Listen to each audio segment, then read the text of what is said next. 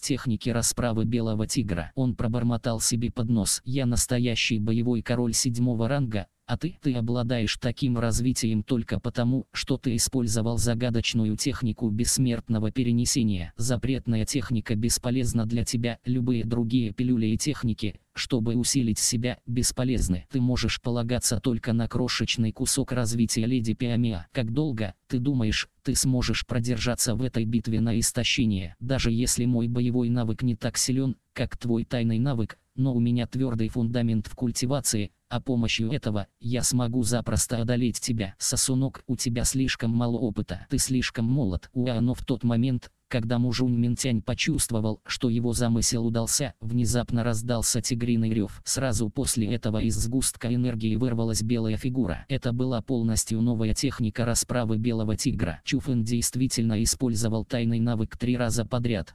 Как это возможно? Мужунь Минтянь, который ухмылялся ранее, мгновенно побледнел, когда увидел яростного белого тигра. Как бы там ни было, он никак не ожидал, что Чуфэн создаст тайный навык в третий раз, после того, как использовал его уже два раза подряд. Сила, высушенная тайным навыком, была огромна, не слабее, чем если бы это был боевой навык смертного табу. Но поскольку тайный навык Чуфена был так силен, это означало, что сила, которую он потреблял, была даже более огромной. Даже если бы Чуфен мог создать один тайный навык, технику расправы белого тигра, пока использовал другой тайный навык, стремительную технику лазурного дракона, поступать так в течение длительного времени на самом деле бросало вызов логике. Но сейчас он не заботился об всем этом. Он быстро развернулся и использовал телесный боевой навык, чтобы сбежать. Появление этого белого тигра было слишком внезапным. У него больше не было шанса, чтобы создать боевой навык смертного табу, а потому его единственным вариантом был побег. А однако, техника расправы белого тигра была на самом деле слишком быстрой. Несмотря на то, что телесный боевой навык, который Мужунь Минтянь применил, был очень силен, он все еще не мог оторваться от тайного навыка. Расстояние между ними становилось все меньше и меньше. «Цзян Циша, спаси меня!» – взмолился Мужунь Минтянь. В такой скверной ситуации у него больше не оставалось вариантов. «Мусор, ты использовал так много моих пилюль-талисманов, а получил лишь такую ничтожную силу. Какая от тебя польза, зачем мне спасать тебя? Но когда Цзян Циша увидел,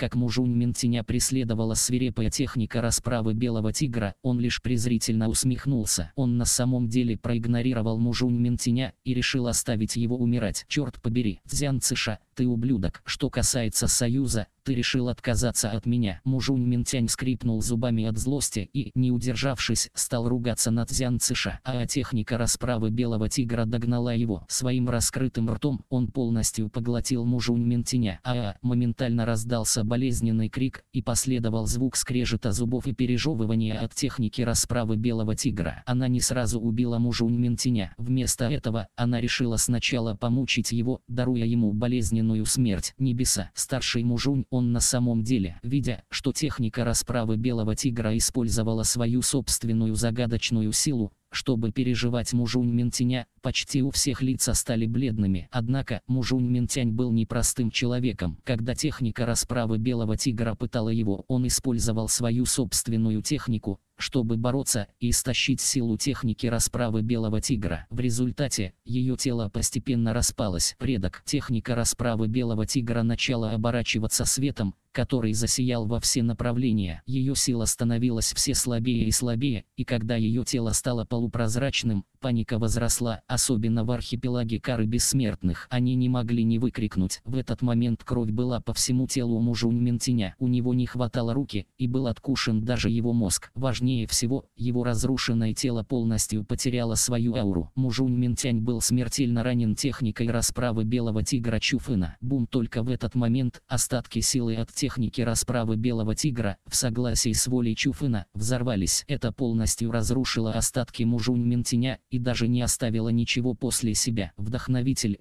который возвысил архипелаг Кары Бессмертных, старый монстр, который жил несколько сотен лет, был убит Чуфином в такой жалкой манере. Глава 969. Атака, похожая на стихийное бедствие. Предок. Лица членов архипелага Кары Бессмертных стали пепельными. Они были совершенно ошеломлены, не способные вернуться в чувство, когда мгновение спустя они начали душераздирающе завывать. Мужунь Минтянь был просто слишком важен для них. В их сердцах он был сродни Богу, тем, кто вел их, и тем, кто правил миром. И все же, сейчас их Бог был убит. Как могли они принять такой исход? Как верующие, которые потеряли свою веру, они потеряли направление в жизни. Мы будем мстить за предка. С такой разрушительной печалью архипелаг кары бессмертных ощутил, как их ярости горе слились воедино. Они набросились на секту жестокого демона ночи, полностью игнорируя собственные жизни. Они стали пытаться обменять свою жизнь на жизнь своих противников, желая любой ценой отомстить. Однако, хотя их сила возросла из-за прилива эмоций, секта жестокого демона ночи тоже возрастав в силе после смерти мужа Уньментиня. Они не были напуганы суицидальными методами архипелага кары бессмертных, и вместо этого они начали даже более беспощадную резню. В подобной ситуации, для уже подавленного архипелага кары бессмертных и трех великих чудовищных кланов было очень тяжело продержаться. Это чувство может ли быть, однако, после того, как тело Мужунь Минтиня взорвалось, появилась слабая сила, которую Чуфын поглотил в свое тело. Однако, Чуфын нахмурился после того, как сделал это. Тень подозрения мелькнула в его глазах, а в тот момент, когда Чуфын отвлекся, Цзян Циша воспользовался этим шансом, чтобы создать свой боевой навык смертного табу. Он хотел миновать технику расправы белого тигра Чуфына и также тайком его атаковать. Бум однако он сильно недооценил технику расправы белого тигра. Даже если Чуфын был не полностью сосредоточен на контроле, тайный навык все еще обладал своей собственной волей. Он вновь уничтожил боевой навык смертного табу Цзян Циша. А затем, белый тигр выпустил яростный рев и прыгнул к Цзян Циша. Свист Цзян Циша начал быстро лететь назад. Он решил прекратить выпускать боевые навыки смертного табу, чтобы силой встретить атаку Чуфына. Вместо этого он решил сбежать, но белый тигр гнался за ним по пятам и был очень быстрым. Даже несмотря на то, что Цзян Циша использовал телесный боевой навык, расстояние, отделяющее их двоих, продолжало постепенно сокращаться. Это реально гений, который пришел из святой земли воинственности и даже одолел божественное тело, вынужден убегать из-за Чуфына. Бесконечно восклицали наблюдатели, видя подобное зрелище. Если акт убийства Мужунь Минтиня заставил их признать силу Чуфына, тогда акт принуждения Цзян Цыша к побегу в таком жалком состоянии тайным навыком Чуфына заставил их одобрить способности Чуфына. В конце концов, все знали, что Цзян Цыша был намного сильнее Мужунь Минтиня, потому, даже если Чуфын подавил Цзян Цыша, Малыша, многие люди все еще хранили в своих сердцах лучик надежды. Они считали, что такой гений, как Цзян Циша, был непостижим. Для него существовало бесконечное число возможностей, а потому Чуфэн не мог на самом деле одолеть его. Но лучик надежды у этих людей начал быстро исчезать. Нынешняя ситуация давала понять, что у Цзян Циша вряд ли оставался козырь, чтобы разобраться с Чуфыном. Хаймым, но когда многие люди подумали, что Цзян Циша уже был побежден, он холодно фыркнул, и тень решимости вспыхнула в его глазах. Затем он повернул свою ладонь, и несколько пилюль-талисманов появилось на его руке. Он открыл свой рот и проглотил их все. Хаймым проглотив пилюли, у Цзян Циша была точно такая же реакция, как у мужа Минтиня. Руны и узоры появились на его коже, а его аура стала сильнее. Бахтзян Циша внезапно обернулся и ударил приближающуюся технику расправы белого тигра. Бум этот кулак не следовало недооценивать. Он содержал такую силу, что мог уничтожить эту землю, и всего один этот удар разорвал на куски технику расправы белого тигра Чуфына. Так сильно, как и ожидалось от гения из святой земли воинственности. Кажется, что это его настоящая сила. Это слишком ужасно. Он наконец-то показал свои истинные возможности. Кажется, что Чуфын собирается отправиться следом за ним. Многие люди глубоко вздохнули, увидев, как техника расправы белого тигра рассеивалась в воздухе. В то же время, многие люди, которые желали смерти Чуфына, облегченно улыбнулись. Небеса, Цзян Циша такой ужасающий, как Чуфын остановит его. Что касалось тех, кто желал, чтобы Чуфэн жил, они могли лишь беспокоиться о нем. Независимо от того, как много силы осталось в технике расправы Белого Тигра, это все еще была мощная способность, которая могла разрушить боевые навыки смертного табу. И все же, в этот момент, Цзян Циша прорвался сквозь нее своим кулаком. Это наглядно демонстрирует нынешнюю силу Цзян Циша. Как минимум, то, что было раньше, и близко не стояло с тем, что он имеет сейчас. Чуфын, число людей, которые могут довести меня до такого состояния, можно пересчитать на пальцах, даже в секте проклятой почвы. Я признаю, я, Цзян Циша, недооценил тебя. Я недооценил силу, что могла выйти из такого мужлана, как ты. Однако, пора это заканчивать. Я позволю тебе увидеть, что такое настоящий гений. Я позволю тебе увидеть, что такое настоящая техника. Цзян Циша глумился, когда смотрел на Чуфына, а затем его выражение изменилось, и он выпустил взрывной крик «Умри!». Он ударил кулаком, ладонью, ногами, и все в одно время. Четыре яростных взрыва боевой силы помчались из этих четырех мест. Сила, которую эти четыре взрыва содержали, была очень яростной. Типичные боевые навыки просто не могли сравниться с ними. Это было даже в несколько раз сильнее боевого навыка смертного табу, который Цзян Циша использовал прежде. Сейчас он не только создавал четыре боевых навыка в одно время, он создавал четыре разных боевых навыка смертного табу в одно время. Бум затем, они слились в воздухе, и стали сгустком энергии, которая окутала небо. Сгусток энергии летел по воздуху. Он был похож на огромную волну, которая хлынула вперед, и был таким же, как ужасающая черная масса облаков. В ней не только переливались четыре разных цвета, она принесла с собой молнии и шторм. Это было похоже на апокалипсис, который мог разрушить мир. Боги, Цзян Циша на самом деле создал такую ужасающую технику. Это все еще боевой навык, это все еще техника человека, это словно работа Бога. Когда они смотрели на сгусток энергии, покрывший целое небо и хлынувший к Чуфыну, все были ошарашены. Независимо от того, желали они смерти Чуфыну или нет, они были потрясены действием Цзян Циша. Это было определеннее всего сильнейшей техникой, которую они видели до сих пор. Это было просто стихийным бедствием, которое могло разрушить все. Глава 970. Земное табу. Резня кровавой луны. Четыре разных боевых навыка смертного табу слились воедино. Сила была абсолютно не так проста, как у четырех отдельных типичных боевых навыков, примененных одновременно. Это было сочетание боевых навыков, и они даже не были обычными боевыми навыками, а были боевыми навыками смертного табу. Подобная техника была крайне сложна, и ее сила, естественно, была столь же огромной сгусток энергии, созданный комбинацией четырех боевых навыков смертного табу, был несравнимо яростным. Хотя его целью был лишь Чуфын, созданное им давление окутало территорию радиусом в тысячи миль. Независимо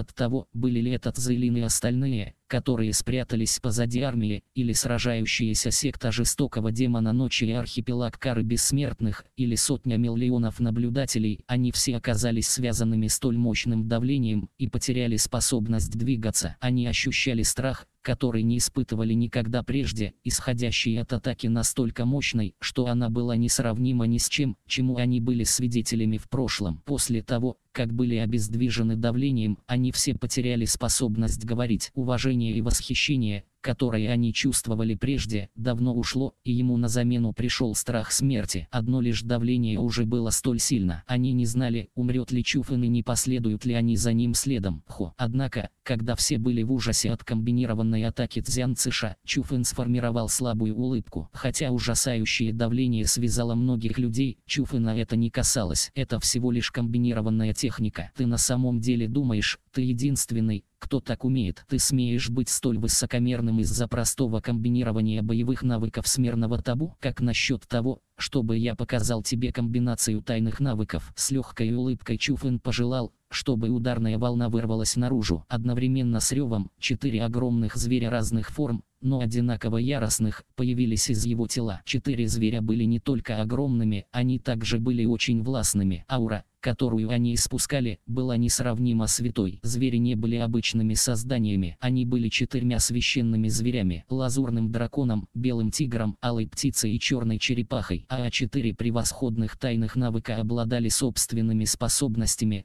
но прямо сейчас Чуфэн не использовал обычную технику. Это была абсолютно новая техника, полученная после изучения техники возрождения Алой Птицы, убойная формация четырех символов, а они обладали чрезвычайно мощной силой, и они также были очень быстрыми. После того, как они появились, наблюдатели даже не успели понять, что происходит, когда четыре священных зверя уже объединились, чтобы создать формацию. Однако формация четырех символов полностью отличалась от той, которая связывала Цу Цаньфына прежде. Тогда это была связывающая формация, в то время как это была убойной формацией. Более того, сила, которой она обладала, была несравнима с прежней. Она могла запросто подавить все. Это была убойная формация четырех символов. После того, как они собрались вместе, создавая вышеупомянутую убойную формацию четырех символов, давление, исходящее от атаки Цзянцыша, мгновенно исчезло. Давление, которое связывало всех, также растворилась. Небеса, что это? Это техника Чуфына. Я видел что-то, что создал Чуфын. Он на самом деле скомбинировал легендарные тайные навыки, и при этом сразу четыре тайных навыка. Что? Даже тайные навыки могут быть объединены? Я никогда не слышал об этом прежде. Хотя миллионы людей вернули свою свободу, никто не желал сдвигать свой взгляд, потому что все они были обращены в сторону формации четырех символов Чуфына. Их глаза были наполнены неверием и потрясением, потому что они могли ощутить, что сила в этой убойной формации четырех символов была даже более страшной, чем объединение четырех боевых навыков смертного табу Цзянцыша. Бум грохот грохот градхат только в этот момент две атаки столкнулись. Мгновенно наружу хлынули безграничное давление и ударные волны, слой за слоем. Они были слишком яростными, и просто никто не мог выдержать этого. Неважно, архипелаг кары бессмертных, секта жестокого демона ночи, или сотня миллионов наблюдателей, никто не смел оставаться на месте. Все они бежали прочь, боясь, что они будут поглощены давлением и потеряют свои жизни. А, а, а однако, несмотря на то, что давление не было направлено на их убийство, многие люди не смогли сбежать вовремя. Они были поглощены давлением и с болезненными вскриками, они были раздавлены и стали лужами крови. А но когда давление посеяло хаос, в нем раздался яростный рев. Также появилась формация четырех символов. Четыре священных зверя находились в воздухе воздухе и бегали по кругу, по особому маршруту. Они направляли свою силу в формацию четырех символов и обрушили ее на Цзян Цыша. Мощь была несравнимой, и у Цзян Цыша не было путей к спасению. Старший, не скрывай ничего, используй это и уничтожь его. Лица Чжаю и Теня и Укунлуня сильно изменились. Они могли лишь крикнуть Цзян Цыша. Даже несмотря на то, они чувствовали, что это немыслимо, они не могли не признать, что убойная формация четырех символов, которую создал Чуфын, была слишком пугающей. Если Цзян Циша не станет использовать свои последние козыри, вполне возможно, что он умрет из-за этого. Ты на самом деле довел меня до такого состояния. Но все отлично, сегодня я расширю твои горизонты. Вы, мусор из региона Восточного моря, откройте свои отвратительные глаза и смотрите. Это боевой навык земного табу, резня кровавой луны. Сказав это, Цзян Циша сложил свои руки и позволил формации четырех символов продвинуться вперед. Он закрыл свои глаза, наплевав на то, что происходит вокруг, когда само пространство перед ним стало разрушаться, а его одежды шумно затрепетали. Бум внезапно, мистическая волна вырвалась из тела Цзян.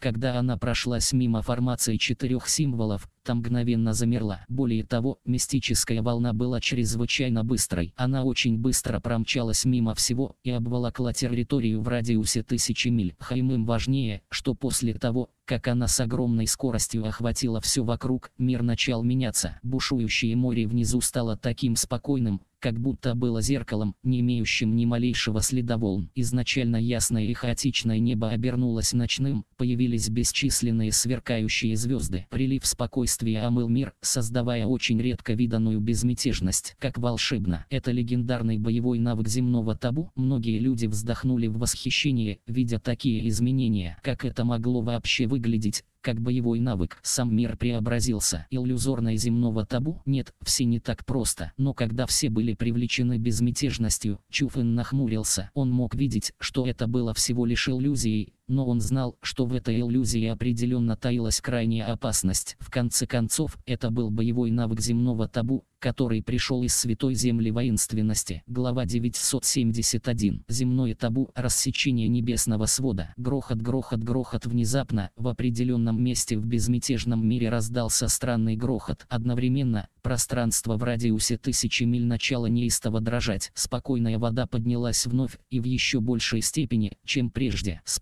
подобными изменениями, огромная полная луна постепенно появилась над поверхностью моря, появляясь перед глазами толпы. Луна была действительно очень большой, и она была цвета крови. Ее краснота была очень странной, придавая ей вид, будто она была создана из крови. Самым важным было то, что после того, как она появилась, беспрецедентное давление охватило мир. Это аура. Многие люди не могли дышать, некоторые даже задохнулись, и кроме боевых королей, лица всех остальных побагровели. Даже несмотря на то, что состояние боевых королей было не таким серьезным, их лица были довольно сильно искажены из-за того, что было очень сложно выдержать настолько ужасающее давление. Как я и думал, в этой иллюзии скрыта убийственная техника, она убивает давлением. Так это критическая составляющая этого боевого навыка, верно? Эта резня кровавой луны на самом деле непроста. С такой мощной силой, покуда Цзян Циша желает, ему потребуется лишь мысль, чтобы мгновенно убить всех здесь присутствующих. С точки зрения радиуса поражения, мое рассечение небесного свода на самом деле хуже этой резни кровавой луны. Но, к сожалению, если я захочу использовать его, чтобы сломать эту луну, это будет не так уж и сложно. На лице Чуфына была улыбка. Он уже детально проанализировал боевой навык земного табу Цзянцыша. Более того, он ощутил, что пора было позволить миру узнать о его рассечении небесного свода. Потому, когда резня кровавой луны породила во всех ужас и страх смерти, Чуфын медленно закрыл свои глаза. Одновременно, чрезвычайно мощная сила начала незримо сливаться в его теле. «Хо, ты сдаешься?» Презрительная усмешка возникла на лице Цзянцыша когда он увидел, что Чуфын, казалось бы, принимает свою судьбу. В глазах Цзян Циша, даже если бы Чуфын сопротивлялся, это было бы бесполезно. Поскольку он создал резню кровавой луны, Чуфын был обречен. С его точки зрения, Чуфын собирался сдаться,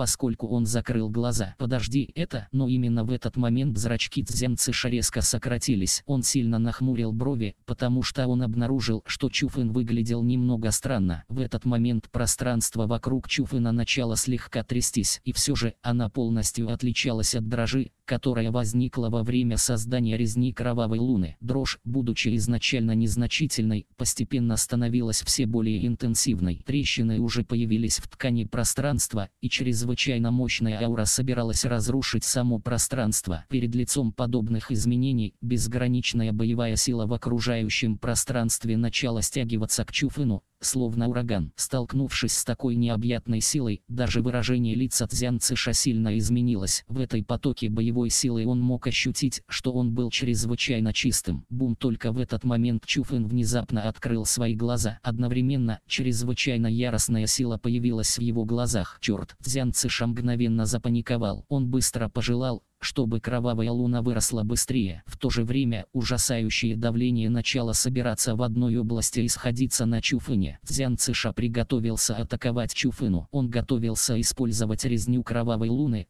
чтобы подавить Чуфына до смерти, но уже было слишком поздно. Прежде, чем его атака закончила фокусировку, взрыв кроваво-красной ауры вырвался из тела Чуфына. Она была очень странной формой, она была похожа на острые клинки, и при этом они были подобны плавающим змеям. Они были не только сконцентрированными, они были бесчисленными. Они даже издавали страшные вопли и крайне ужасающие звуки, как будто они были призраками из ада. Важнее, что после того, как эта кроваво-красная аура появилась, небо мгновенно изменило цвет. Эта аура не только содержала ужасающую силу, ее скорость была пугающей. Всего в мгновение ока они полностью заволокли каждый угол неба. И в этот момент губы Чуфы надвигались с четким акцентом на каждом отдельном слове. Он сказал «земное, табу, рассечение небесного свода. Первое рассечение. Бум. Такие слова были как приказы владыки. Нити странной и ужасающей ауры ударили с разрушительной силой по направлению взгляда Чуфына. Наконец, после громкого треска, кроваво-красное рассечение приземлилось на круглую луну. Бум. Трещины появились на луне,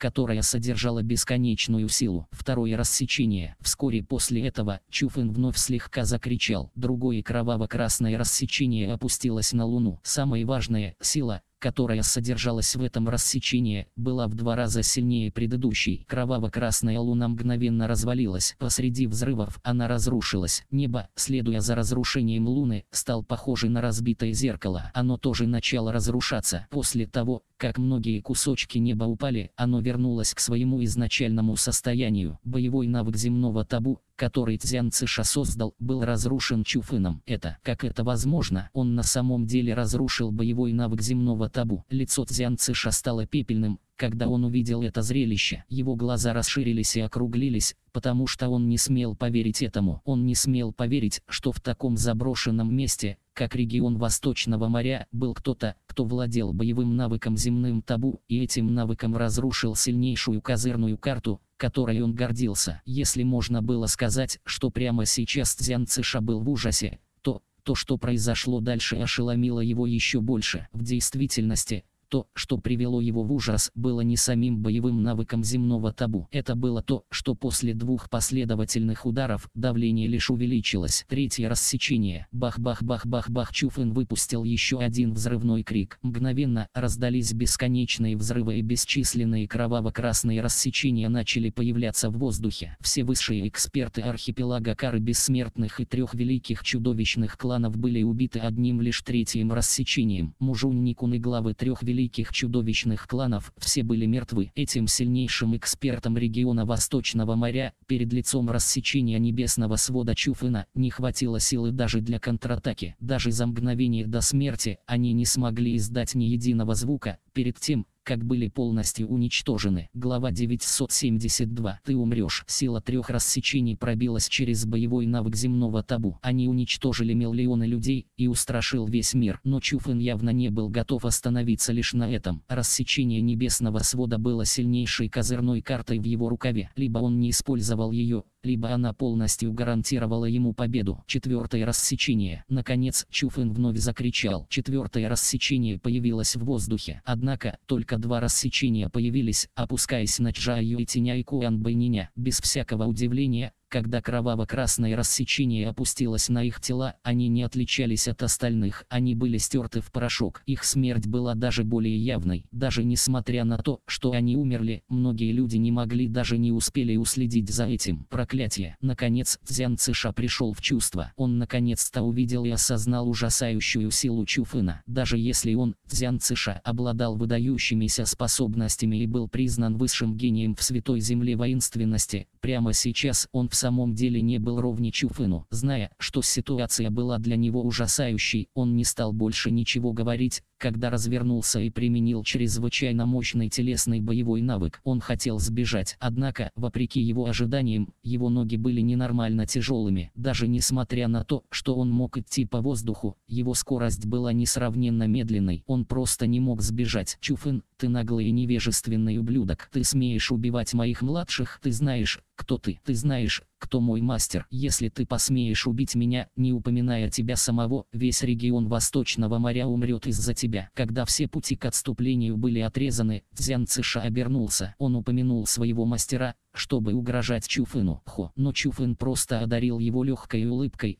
а затем сказал, «Дзян Циша, тебе не следовало делать этого. Ты не должен был вмешиваться во вражду между мной и архипелагом Кары Бессмертных, и не должен был атаковать Туманный Пик. Но о чем ты абсолютно точно не должен был даже помыслить, так это показывать намерение жениться на Цзилин. Ты можешь унижать меня, как бы ты ни желал, но я не могу стерпеть издевательств в отношении тех, кто мне больше всех дорог. Сегодня меня не заботит, оттуда ты пришел. Меня не заботит, откуда пришел твой мастер. Меня не заботит, какое развитие у твоего мастера. Я убью тебя. Выражение Чуфына внезапно обернулось ледяным. Одновременно появились кроваво-красные сгустки света. С ужасающим воем они полетели к Цзян Циша. Сила, содержащаяся в них, была в несколько раз мощнее, чем в четырех прежних рассечениях, потому что это было пятое рассечение рассечения небесного свода. Чуфын, не убивай меня. Чувствуя ужасающие сгустки света, летящие к нему с разных направлений, Цзян Циша пришел в абсолютный ужас ужас. В момент, разделяющий жизнь и смерть, он внезапно закричал. Не было больше высокомерия и гордости в его голосе, и вместо этого след мольбы. Чуфын пожелал, чтобы кроваво-красный свет остановился за сотню метров от Цзянцыша, а затем спросил, что еще ты хочешь сказать. Чуфын, не убивай меня. Если ты пощадишь мою жизнь, я могу дать тебе все, что ты хочешь. Я могу также симулировать неведение о смерти моих младших. Я могу даже привести тебя в святую землю воинственности и дать рекомендацию,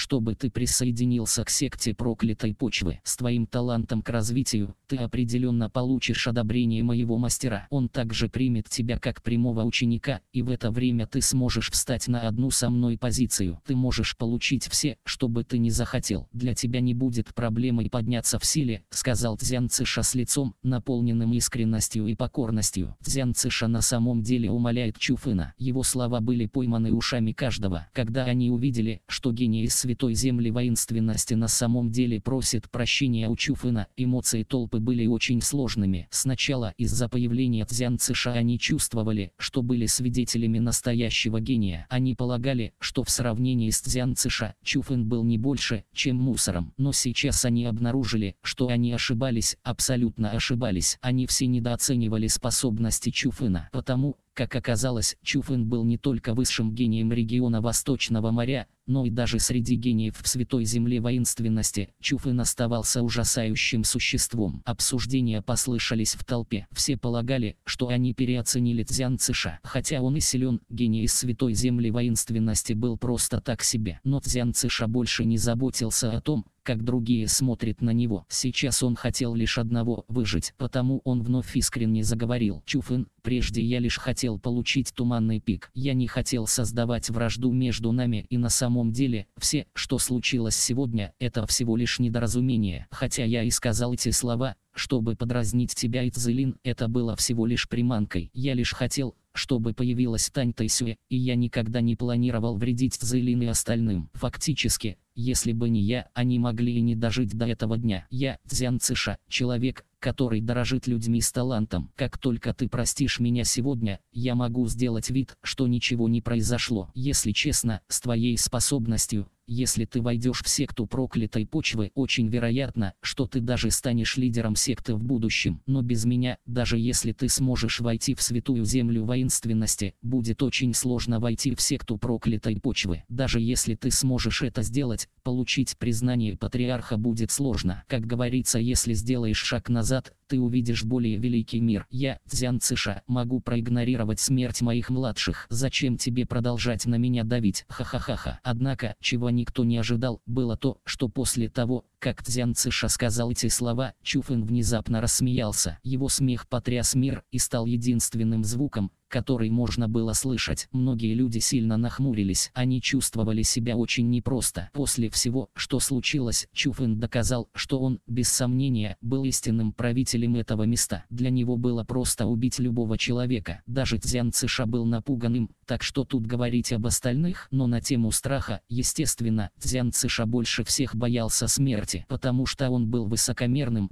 потому что он был тщеславным, он чувствовал, что его жизнь была самой драгоценной. Кроме того, он был человеком, который больше всего боялся смерти. Цзян Цыша, ты думаешь, что я дурак? Ты говоришь мне такие нереальные вещи? Наконец, Чуфэн перестал смеяться, но насмешка осталась на его лице. Пуф Цзян Цыша преклонил колени после того, как услышал эти слова. Он поднял свои руки и сказал громко, с серьезным лицом. «Я, Цзян Цыша, клянусь небесами, что каждое отдельное слово, которое я сказал сегодня, это правда. Если было хоть полслова лжи, пусть молния ударит меня и подарит мне ужасную смерть. Ха-ха-ха. Но Чуфэн еще раз разразился смехом. Он сказал, Цзян Цыша, прежде всего, неважно, что ты сделаешь, я не поверю тебе. Нет нужды так старательно умолять. Более того, даже если все, что ты сказал, правда, что с того, ты уже пресек черту, не говоря уже о простом ученике из святой земли воинственности, даже если бы ты был учеником Бога, мои действия остались бы прежними. Сегодня ты умрешь, даже Бог не сможет спасти тебя. После этих слов взгляд Чуфы настал ледяным. В то же время, исчезнувшие кроваво-красные огни в воздухе полетели к Цзян Цыша чрезвычайно быстро. Бах, когда кроваво-красные огни собрались вместе, ужасающее кроваво-красное рассечение приземлилось на тело Цзян Цыша Дзянцыша в форме креста. Его тело раскололось в одно мгновение. Неважно, конечности или душа, они все исчезли. Это было абсолютное уничтожение. Высший гений из Святой Земли воинственности был убит Чуфыном. Глава 973. Долгой жизни главе секты. Наконец убив Цзянцыша, давление рассечения небесного свода исчезло и отступило в тело Чуфына, вернув мир к его прежней безмятежности. Тишина пронзила небо. Все спокойно смотрели на Чуфына и оставались безмолвны. Чуфын одной лишь своей силой убил высших экспертов архипелага Кары Бессмертных и даже убил трех гениев из Святой Земли воинственности. Его сила потрясла всех, и его действия оказали разрушительное воздействие на исход битвы. Все стали убеждены в силе Чуфына. Они не только не забудут его сегодняшних подвигов, все остальные в будущем, преемники региона Восточного моря, будут обсуждать это долгие годы, потому что его достижения будут обречены стать занесенными в книгу истории. Он был обречен стать объектом восхищения и поклонения. Однако,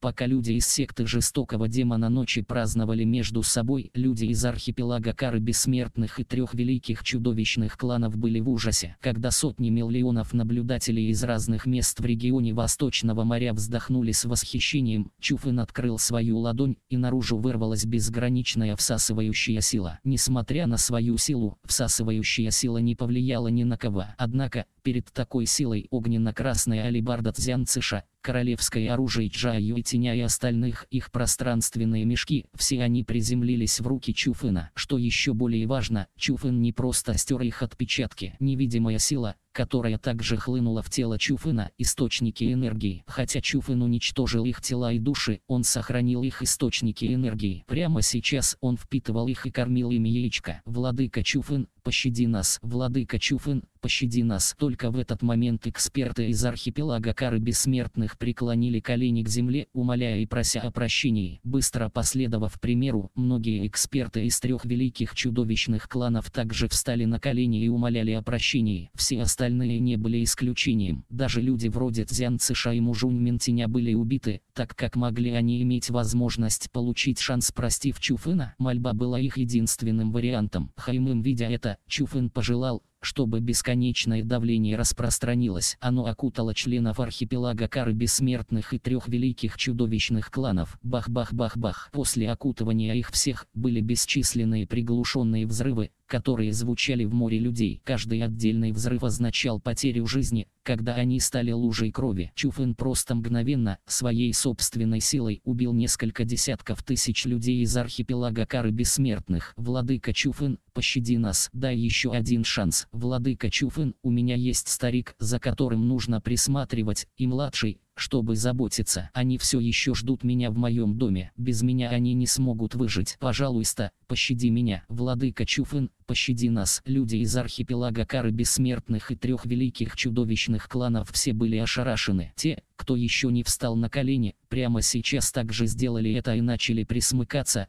пока они тоже молили Чуфына. Хо. Однако, когда он столкнулся с их трагичными криками, Чуфын просто выпустил легкий смешок. Затем он сказал, в столкновении двух армий, каждая служит своему соответствующему мастеру. Вы не сделали ничего плохого, но победитель король, а проигравший злодей, сердобольно относиться врагу, быть жестоким к себе. Если бы я был побежден сегодня, уверен, никто не стал бы сочувствовать мне, потому меня не заботит, как велико ваше желание жить. Я не позволю никому выжить. Если вы хотите кого-то обвинить, вы можете винить лишь себя за то, что последовали за плохим мастером. Если вы хотите кого-то обвинить, вините лишь себя за то, что сделали меня своим врагом. После того, как он сказал это, холодный блеск появился в глазах Чуфына. Затем он закричал. Секта жестокого демона ночи, внимание, архипелаг кары бессмертных и три великих чудовищных клана должны быть убиты. Не оставляйте никого живым. Убить. После того, как он это сказал, армия секты жестокого демона ночи еще раз стала кровожадными демонами. Они выпустили свою безграничную жажду крови,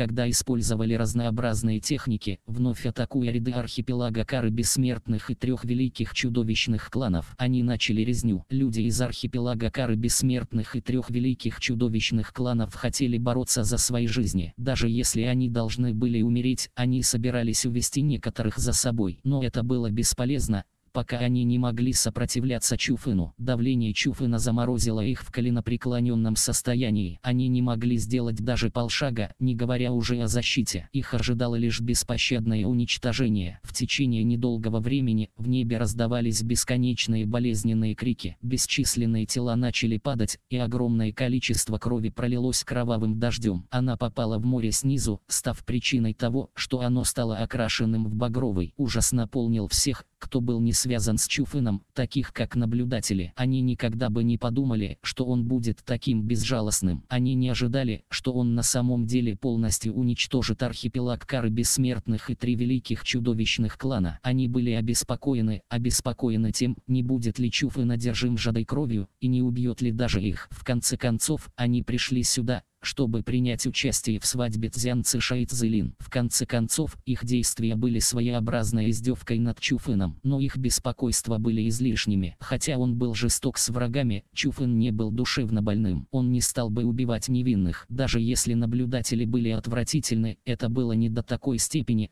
чтобы они заслуживали смерти. Таким образом, люди из архипелага Кары Бессмертного и трех великих чудовищных кланов были полностью уничтожены армией секты жестокого демона ночи. Ни единого человека не осталось в живых, хотя они были не слишком сильны. Это, в конце концов, было огромных количеством людей. Так, Чуфен не отказался от их источников энергии. Он впитал их и отдал яичко. В этот момент члены секты жестокого демона ночи упорядоченно встали в воздухе. Они выразили свое уважение и Чуфыну, и в то же время они одновременно закричали «Долгой жизни главе секты! Долгой жизни главе секты! Долгой жизни главе секты! Долгой жизни главе секты!» Эти четыре слова бесконечно раздавались громоподобно. Люди из секты жестокого демона ночи были на самом деле взволнованы, потому что мощная сила Чуфына показала им что-то, чего даже бывший глава секты не мог сделать. Его сила позволила всем узнать, что их выбор был верным. У Чуфына была не только квалификация стать главой их секты, они даже почувствовали, что он превзойдет всех бывших глав секты и станет величайшим созданием в истории секты жестокого демона ночи. В этот момент Цзилин, Суроу, Сумэй, Цзянчан, Чжантянье, Чуню, Цушуйфуинь, Тайкао, Цуцаньфын и остальные, те, кто был дорог Чуфыну, стояли с радостными улыбками на своих лицах. Они ощущали счастье из глубин своих сердец. Они ощущали гордость за Чуфына. Сильное выступление Чуфына изумило остальных. Те, кто мог подружиться с ним и все же упустили шанс, ощутили сильное сожаление. Их эмоции были очень сложными. Сяю и Дуньсюй были из числа этих людей. Хотя Чуфын не станет сильно им вредить, они очень хорошо знали, что сделать Чуфына врагом было их самой большой ошибкой в жизни. Они знали, что Чуфэн станет очень сильным, таким сильным, что это будет невообразимо. В это время, из того, что они знали о нем, он определенно будет помогать тем, кто был близок к нему. Чуню и остальные были в этой группе. Однако, Сяю и Дуньсюэ, они, они никогда не будут квалифицированы получить помощь Чуфына. Они и Чуню уже были на двух разных уровнях. На пути развития, Чуню оставит их все более и более позади. Они были в точно такой же ситуации, как Чуню,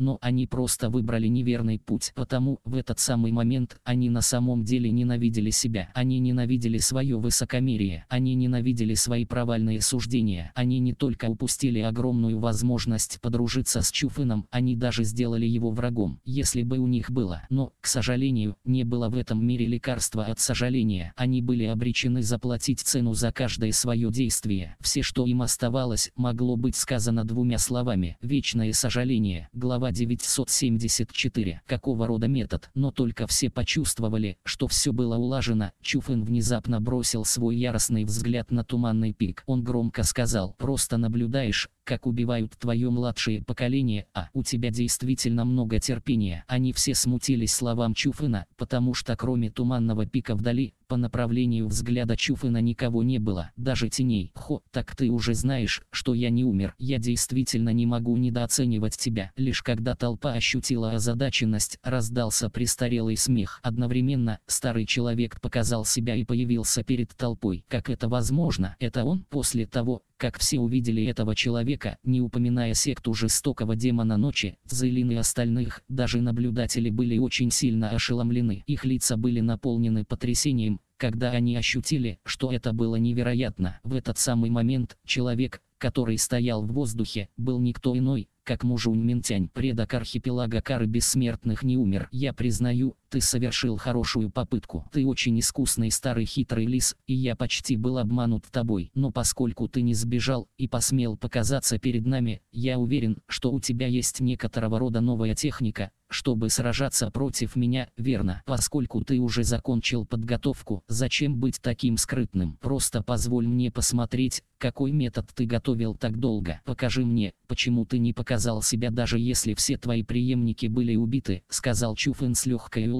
Выражения Цзелин и остальных мгновенно стали мрачными. После того, как они переглянулись, они начали медленно пятиться со всей армией секты жестокого демона ночи. Они знали, что Мужунь Минтянь был очень хитрым. Он не только был безжалостным, он был очень расчетливым. Как Чуфын и сказал, поскольку он посмел показаться даже после того, как Чуфын одолел Цзян Циша, это означало, что причина, по которой он был бесстрашен, была в том, что у него был запасной план. Это имело смысл лишь в том случае, если у него было что-то припасено для того, чтобы разобраться с Чуфыном. У них не было шансов против Мужунь Ментиня прежде, и в еще большей степени у них не было шанса против Мужунь Ментиня сейчас. Они должны были быстро покинуть поле боя между этими двумя, в противном случае они будут лишь отвлекать Чуфына. Ха-ха, интересно, ты знаешь, что у меня что-то есть, то, что я могу использовать, чтобы разобраться с тобой, и все же ты смеешь так высокомерно звать меня. Кажется, что у тебя есть достаточно уверенности. Я, Мужунь Минтянь, был в регионе Восточного моря так много лет, но ты первый, кто смог довести меня до такого состояния. Но Чуфын, боевой навык земного табу, который ты использовал прежде, был так силен, что я предполагаю, что ты тоже заплатил огромную цену, не так ли? Не думай, что я не могу этого заметить. Прямо сейчас, ты выглядишь хорошо, но на самом деле ты потратил довольно много сил. Твоя сила слабее, чем прежде, сказал Мужунь Минтянь с улыбкой. Хо, ты прав, но ее все еще более, чем достаточно, чтобы разобраться с тобой, Чуфэн презрительно усмехнулся. Несмотря на то, что Мужунь Минтянь был абсолютно прав, он абсолютно не боялся, потому что он уже все решил, выживет он сам или умрет, но Мужунь Минтянь не доживет до следующего дня. На самом деле, после убийства Мужунь Минтяня, Чуфэн попытался впитать его источник энергии, но он не смог найти ни единого следа. Потому в тот момент он подтвердил, что Мужунь Минтянь не умер, и вместо этого использовал какого-то рода особую технику, чтобы сбежать. Чуфэн также очень хорошо знал, что Мужунь Минтянь мог просто сбежать, но он этого не сделал. После убийства Цзян Циша, Мужунь Минтянь посмел появиться снова. Это означало, что сейчас у него было что-то даже более сильное, чем Цзян Циша. Неважно, что это было, без сомнения, это было сильнее, чем полная сила Цзян Циша. Чуфэн не был богом. Даже несмотря на то, что он мог сделать много догадок, он не мог быть уверен в том, что же Мужунь Минтянь прятал в своем рукаве, что что дает ему отвагу стоять здесь. Несмотря на то, что у Чуфына было определенное количество уверенности, он не мог определить, что он сможет одолеть Мужунь Ментиня. Так, Чуфын не сбежал, и вместо этого спокойно столкнулся с обстоятельствами. На что он полагался, была не только уверенность, но и решимость, решимость бороться с Мужунь Ментиня до самого горького конца. Чуфын знал,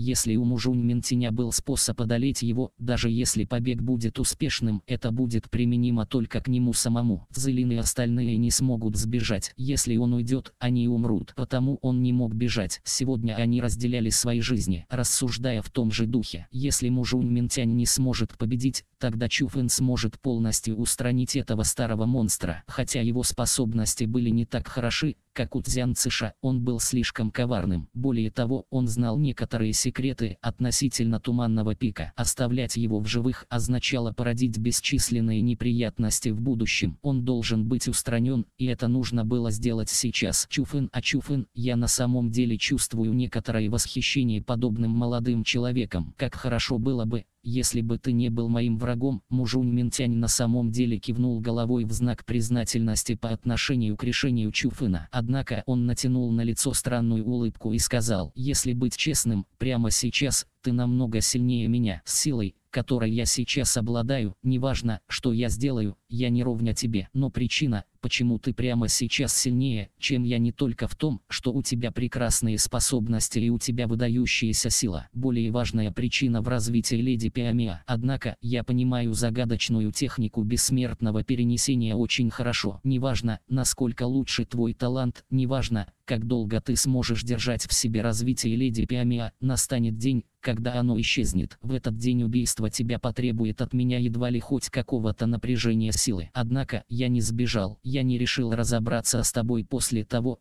как ты потеряешь развитие леди Пиамиа. Вместо этого, я решил встать перед тобой, когда ты наиболее силен. Ты знаешь, почему? Чуфен не ответил на вопрос мужа Уньментиня. Он знал, что его метод определенно будет вовсе непростым. Однако, у Чуфена были силы не только, чтобы разобраться с Цзян Цыша, у него еще были припрятаны козыри. Если он использует все, что у него есть, поражение не обязательно будет неизбежным. Кроме того, если он действительно не сможет ничего сделать, у него все же был монстр из духовного мира Асура в его теле. В худшем случае, ему на самом деле придется использовать все, что у него было, независимо от последствий. Потому Чуфен не боялся. Хо, Чуфен, я скажу тебе честно, я смею стоять перед тобой прямо сейчас, в подобный момент, потому что у меня нет сомнений в том, что ты умрешь, если я использую это, тот, с кем ты столкнешься, буду не только я. Это будет даже более ужасающее существо. Внезапно, Мужунь Ментянь улыбнулся. Его взгляд также начал меняться, его глаза стали темно-зелеными. Но самым приметным изменением были странные отметки, появившиеся на его лбу. Они извивались вокруг, как будто были живыми. Это было зловеще и ужасно, делая его подобным демону. Глава 975. Убийство своего же. После появления странной отметки, аура Мужунь Ментиня стала совершенно иной. Это уже была не простая человеческая аура. Казалось, будто демон приютился в его теле. Он был зловещим, ужасающим и излучал кровожадное убийственное намерение. Хотя это была очень странная аура, столь странная, что была пугающей, его сила на самом деле не возросла. Именно поэтому изменения, которые происходили с ним, были такими странными. Но даже так, Чуфен не смел расслабляться. Он заметил, что изменения в ауре Мужунь Ментиня были из-за его подготовки к использованию особой техники. Хаймым в самом деле, только когда Чуфын ощутил, что что-то не так, Мужунь Ментянь сделал свой ход. Он заложил перед собой духовную формацию. Это была телепортационная формация. Она могла перемещать объекты на небольшие расстояния. Мастер, старший Тайкау, сестра Фуинь, быстро уведите Цзелины всех из секты жестокого демона ночи отсюда. Чуфын поспешно передал ментальное сообщение. Он знал, что это, вероятно, был метод, с помощью которого Мужунь Ментянь собирался разобраться с ним. Цуцаньфын и остальные не смели колебаться после получения послания Чуфына. Они начали отступление. Однако, даже если они находились очень далеко, они не сбежали. Они просто не хотели, чтобы Чуфын отвлекался, но они бы не оставили его и не ушли. В этой битве, если Чуфэн победит, они победят. Если Чуфэн проиграет, проиграют все. Хотя Чуфэн и не видел их действий, он знал об этом. Однако он не стал больше ничего говорить, потому что прекрасно понимал, что Цзелин и остальные его не послушают, независимо ни от чего. Потому он не стал даже пытаться. Он обратил давление в силу, а поражение не могло быть речи. Он должен был убить мужа Уньментиня. Увидев, что члены секты жестокого демона ночи ушли довольно далеко, наблюдатели также быстро сбежали было даже много робких людей, которые не рискнули оставаться здесь. Они полетели к массиву телепортации, собираясь уйти. Они прекрасно понимали, что предстоящая битва будет ужасной. Малейшая оплошность может стоить им жизни. Однако,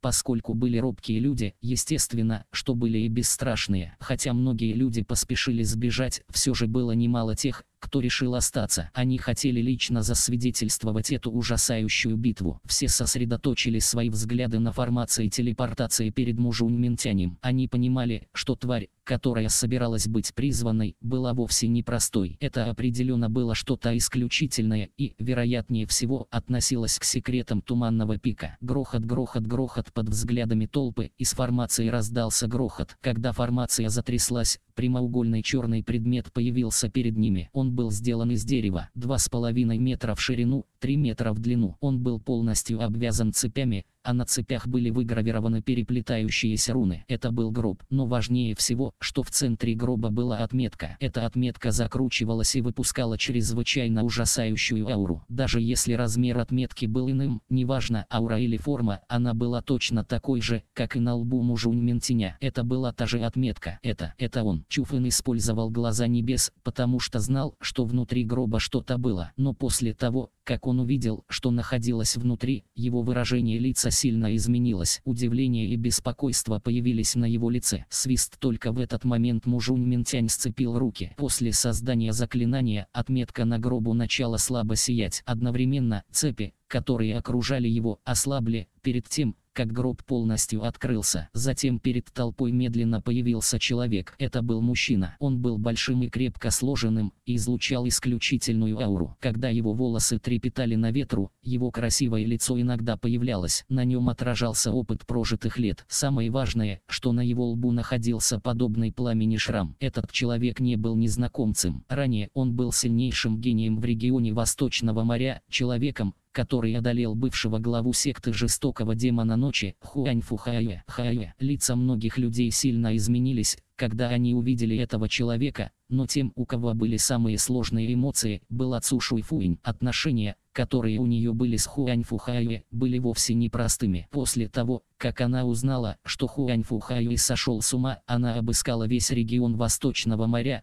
но не смогла найти его вновь. Но она никогда бы не подумала, что Хуань Фухаюй был схвачен мужем Минтянем. Потому в этот самый момент, после того, как она увидела его снова, она потеряла контроль над своими эмоциями. Закричав, она побежала к Хуань Фухаюе. «Сестра Фуинь, не подходи!» Внезапно закричал Чуфэн в этот момент, а затем передал ментальное сообщение. Это в самом деле старший Хуань Фухаюе, но он не тот человек, которого ты знаешь. Если я не ошибаюсь, он уже под контролем Мужунь Ментиня, который добился этого каким-то особым методом. Цушуй Фуинь ненадолго оцепенела, после того, как услышала слова Чуфына, а затем тщательно проверила Хуань Фухае. Только тогда она обнаружила, что он действительно выглядел немного странно. Когда она в последний раз видела Хуань Фухае, он был очень косматым. Более того, он что-то бормотал про себя, его действия были странными, он казался напуганным чем-то. Он выглядел как сумасшедший. У него явно было несколько тяжелых травм, нанесенных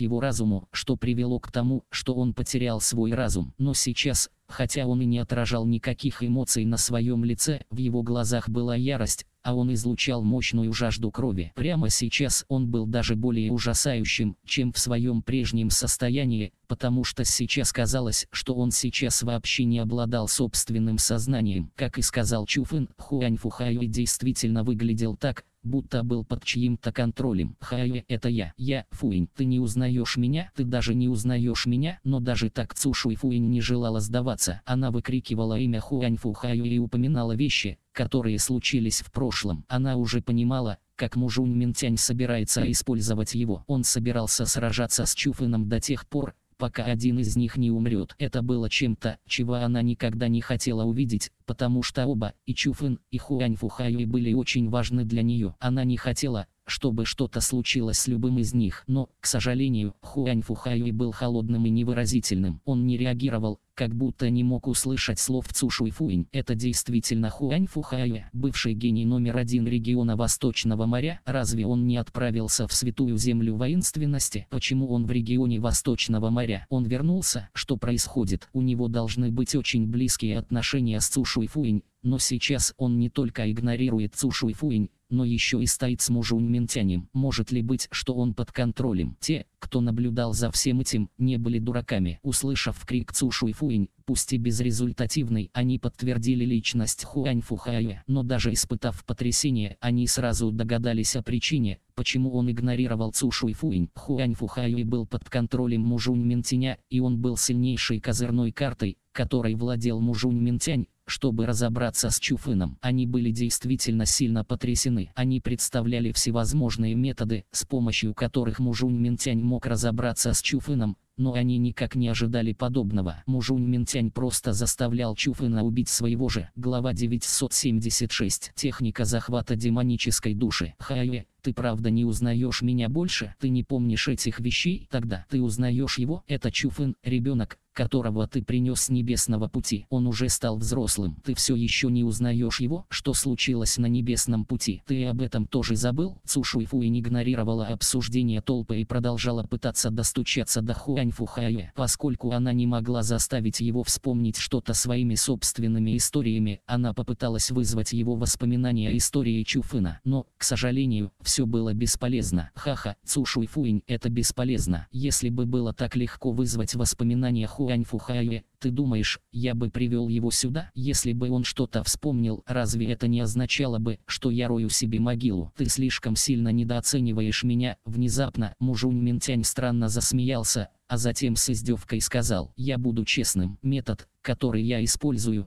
чтобы контролировать Хуаньфухаю рассматривается как запретная техника в Туманном пике, техника захвата демонической души. Эта техника нечто, о чем даже леди Пиамия не знает. Я случайно нашел ее в резиденции мастера. Что касается ее использования, это также нечто особенное. Эта техника не то, что можно создать простой духовной формацией. Эта формация, которая может быть создана только с помощью крови и плоти живых людей, служащих в качестве катализатора, и костями младенцев в качестве основы. Чем больше живых людей было принесено в жертву, тем мощнее порабощающая сила. Чтобы поработить Хуань Фухайе, я убил больше миллиона практиков и несколько десятков тысяч младенцев. Хуань Фухайе, моя марионетка. Если я скажу ему идти на запад, он не осмелится пойти на восток. Если я скажу ему стоять, он не сдвинется. Если я захочу, чтобы он убил кого-то, он убьет этого человека. Даже если это его бывшая возлюбленная, он не проявит милосердия. Чушь, у Хайо твердая воля. Как он может быть под контролем такого, как ты? Взбесилась Цушуй Фуинь. Ха-ха, кажется, что ты все еще не веришь мне. Но это прекрасно. Если ты мне не веришь, мы можем запросто это проверить. Улыбка Мужунь Ментиня становилась все более и более странной. Он указал на Цушуй Фуинь и закричал. Разорви труп этой сучки на миллион кусочков. Хаймым немедленно после команды Мужунь Ментиня тело Хуань Фухаю и задрожало. Его глаза излучали темно-зеленый свет, точно такой же, как у Мужунь Ментиня. Что важнее, После того, как зеленый свет появился, отметка на лбу Хуаньфухаю мгновенно изменилась. Она стала сгустком пламени, после чего бесконечное давление охватило Цушу и Фуинь. Небеса — это аура. Лица всех присутствующих изменились, когда они почувствовали это. Они задрожали, несмотря на отсутствие холода, и ощутили, как холодок спускается по их спинам, потому что, судя по ауре, Хуань Фухаюи был боевым королем восьмого ранга. Хотя Хуань Фухаюи был силен, прежде он не был боевым королем восьмого ранга. И все же, прямо сейчас он был им. Такая огромная сила напугала всех. Боевой король восьмого ранга – это был уровень, близкий к боевому императору, уровень,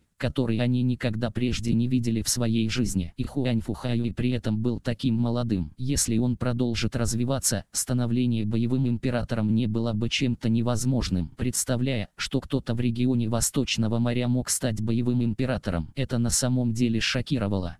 Хайе, ты, но в сравнении со страхом и потрясением, которые ощущали наблюдатели, Цушу и Фуинь застыла. Когда она почувствовала приближающееся давление, которая разрушала даже само пространство, ее глаза покраснели, несмотря на то, что она знала, что Хуань Фухаюи был под контролем и не намеренно атаковал ее, она все же ощутила, что ее сердце разбито. Неописуемая печаль охватила ее душу. Из-за подобной печали она даже не подумала о побеге, хотя, в действительности, она не могла даже бежать из-за огромной разницы в развитии. Бум, когда хлынувшее давление почти настигло ее, внезапно появилось черное рассечение. Оно было не несравненно яростным, и даже это давление не смогло выдержать его, оно было рассечено, и атака была остановлена. Это был Чуфын, который сделал свой ход с запечатывающим демонов мечом в своей руке, он остановил ужасающее давление. «Сестра Фуинь, держись подальше, верь мне, неважно, какой силой обладает эта формация, всегда будут изъяны. Я смогу избавить старшего Хуань Фухаю от контроля Мужунь Ментиня», сказал Чуфэн ментально, рассеяв давление. Цушуй Фуинь успокоилась, несмотря на то, что в ее сердце все еще были сомнения, она должна была верить в Чуфына. Прямо сейчас он был единственным человеком, человеком, который мог бороться с Хуань Фухае, и также единственным человеком, достойным доверия. Бум грохот грохот, но вне всяких ожиданий, После провала первого удара, Хуань Фухайюи снова атаковал Цу Шуйфуинь. Более того, в этот раз это была не простая атака давлением, это был полноценный удар. Этот единственный удар собрал боевую силу уровня короля в пределах нескольких миль. Его сила была ужасающей, и это было нечто, что обычный боевой навык не мог остановить. Даже запечатывающий демонов меч Чуфына не мог. Техника расправы белого тигра, Чуфын открыл глаза небес, чтобы проанализировать и принять решение о защитной технике. У него не было сомнений, и он немедленно использовал тайный навык, чтобы заблокировать этот единственный удар. Сила техники расправы Белого Тигра была безграничной, но она зависела от противника. Хуань Фухаюи просто отправил обычный удар, это даже не был боевой навык. Однако он не был обычным боевым королем восьмого ранга. Даже закрыв глаза на развитие, его способности и боевая сила были намного выше, чем у Мужунь Ментиня и Леди Пиамиа. Потому, Хотя техника расправы Белого Тигра успешно остановила этот удар, она все же рассеялась. Хуань Фухайе с помощью простого удара разрушил тайный навык Чуфына. А, -а видя, что его атака была заблокирована вновь, Хуань Фухайе неистово заревел. Когда он это сделал, слои яростного пламени начали появляться вокруг него и они начали двигаться в сторону Цушу Фуинь. Чуфын, беги. Это яростное пламя пылающих небес. Хуань Фухайе был единственным человеком, кто смог овладеть загадочной техникой пылающих небес в храме пылающих небес. Ты не сможешь заблокировать это пламя. Лицо Цушуй Фуинь мгновенно стало бледным,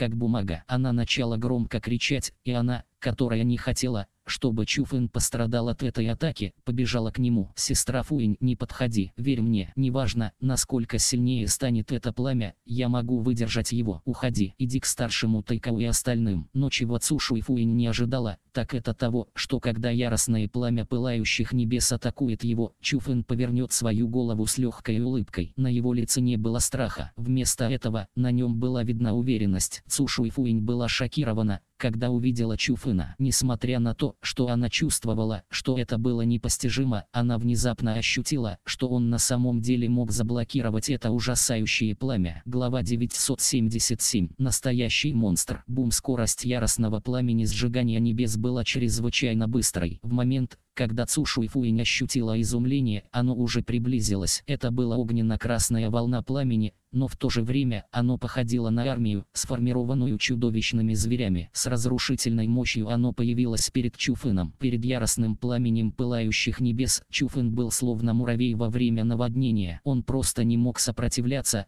когда был мгновенно поглощен пламенем. Более того, после того, как оно охватило Чуфына, ужасающее пламя не остановился. Его поток взмыл в небо и продолжил свой путь к Цушуйфу и остальным. Это было потому, что целью этого пламени изначально была Цушуйфуинь. Она была человеком, ставшей целью Хуаньфухае. Ха-ха-ха, высокомерное отродье, как ты думаешь, кто такой Хуань Фухае? С этим заимствованным развитием, ты думаешь, что сможешь одолеть его, боевого короля восьмого ранга? Ты просто совершаешь суицид. Видя, что яростное пламя пылающих небес заволокло все небо, когда хлынуло в воздух, выглядя так, как будто оно могло сжечь все. Мужунь Минтянь заревел от смеха. Он знал, насколько ужасающим было яростное пламя пылающих небес. И он еще лучше понимал, насколько ужасающе было яростное пламя пылающих небес Хуань Фухае. Яростное пламя пылающих небес могло сжечь всех созданий в мире. Эти слова были не просто бессмысленной болтовней. Яростное пламя пылающих небес Хуань Фухае могло на самом деле сделать это, потому что он уже овладел самым драгоценным сокровищем храма пылающих небес, загадочной техникой пылающих небес. Отметка на его лбу была доказательством этого. Потому, после того, как Чуфын был поглощен пеклом, Мужунь Минтянь предположил, что Чуфын абсолютно точно умрет. Как мог боевой король четвертого ранга иметь возможность защититься от яростного пламени пылающих небес. Но в контрасте с тайной радостью Мужунь Минтяня, Цушу и Фуинь, Цзилин и остальные мгновенно упали в ледяную и бездонную дыру. Неописуемая печаль начала захватывать их сердца. Они даже не могли испустить ни единого звука, но их глаза уже были красными. Они думали, что Чуфэн не смог заблокировать бушующее яростное пламя пылающих небес. Хотя его сила была ограничена, они могли почувствовать, что оно было намного ужаснее, чем боевой навык земного табу, который Цзян Циша применил прежде. Бум грохот грохот грохот однако, когда все ощутили, что Чуфэн вероятно потерял свою жизнь, из яростного пламени пылающих небес раздался оглушительный взрыв. Пламя внезапно остановилось, застыв в воздухе. Бум самой странной вещью было то, что после еще одного взрыва яростное пламя пылающих небес начало закручиваться на месте. Более того, казалось, что оно уменьшается, как будто в центре неба находилась черная дыра, поглощающая яростное пламя. Наконец, пламя полностью исчезло. В этот момент человек появился в поле зрения толпы. Этот человек не был большим или крупным, но был очень внушительным. Он был никем иным, как Чуфыном. Чуфын – это Чуфын. Он еще не умер и не только это, он даже выдержал яростное пламя пылающих небес. Небеса, насколько же силен этот Чуфын, будучи боевым владыкой четвертого ранга, столкнуться с Цзян Циша и Мужунь Минтянем – это одно, но он даже может столкнуться с Хуань Фухае, боевым королем восьмого ранга, логика больше не относится к этому человеку. Толпа была потрясена, когда они увидели это и ощутили великое недоверие. Нет, подождите, присмотритесь, посмотрите на молнию, покрывающую тело Чуфына. Она вовсе не простая, и сейчас он больше не боевой король четвертого ранга. Его развитие поднялось. Прямо сейчас он боевой король пятого ранга. Но несколько внимательных людей обнаружили изменения,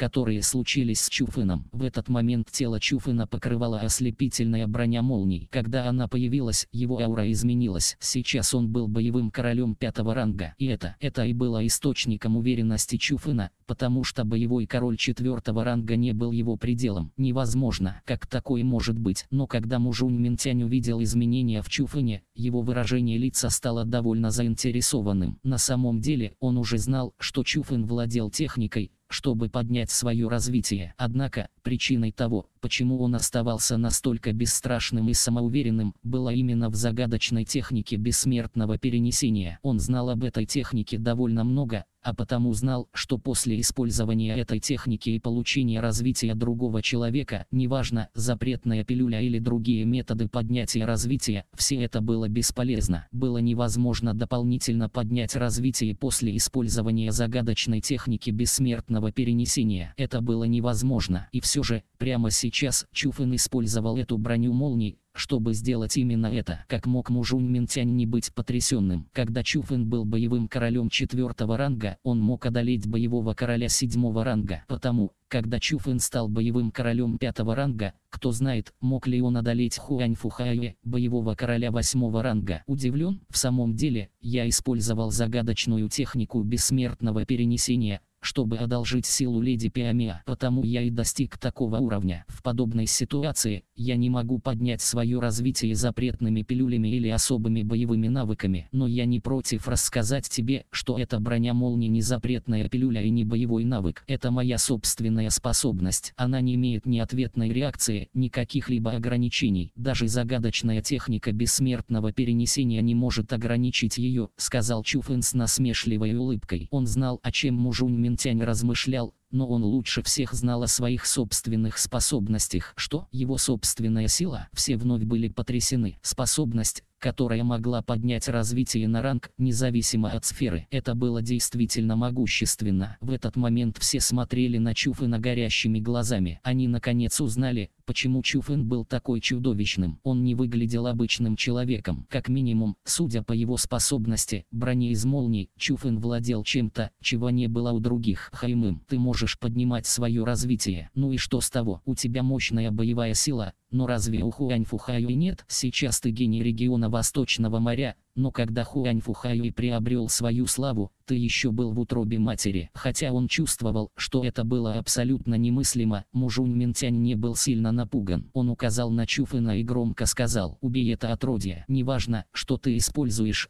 но я не хочу видеть никаких остатков. Бум после того, как Мужунь Минтянь отдал приказ, Хуань Фухаюи вновь атаковал. Снова это было яростное пламя пылающих небес, но в этот раз, неважно, область поражения или сила, оно было в несколько раз более ужасающим, чем прежде. Несмотря на то, что наблюдатели были довольно далеко, они все равно ощутили жгучие волны, долетевшие издалека. Их было очень трудно выдержать, и они не могли не отступить. Пламя действительно было слишком ужасающим, и перед такой адской температурой, даже если пламя было далеко, этого было достаточно, чтобы сжечь их дотла. Хуань Фухайуэс сейчас стал серьезен. Глава 978. Понтифик храма пылающих небес. На самом деле, я всегда хотел сразиться со старшим Хуань Фухайуэ. В конце концов, он был тем, кто одолел бывшего главу секты жестокого демона ночи. Хотя я и не хотел подобной ситуации, для меня это редкая возможность испытать техники старшего Хуань Фухае. Однако, несмотря на то, что кто-то мог сказать, что яростное пламя пылающих небес было в несколько раз яростней, чем прежде, Чуфын оставался неожиданно бесстрашным. Вместо этого в его глазах появился азарт. Хуань Фухае был очень сильным, конечно, Чуфын знал это. Хуань Фухае был сильнейшим человеком, которого он видел, и он в этом он уверился даже больше, после того, как услышал рассказ Цу Цаньфына о том, что случилось в регионе Восточного моря. Чуфын очень хорошо знал, что когда секта жестокого демона ночи была на пике своей славы, сильнейшим человеком в регионе Восточного моря был не глава секты, чье одно имя приносило страх. Это был Хуань Фухайе,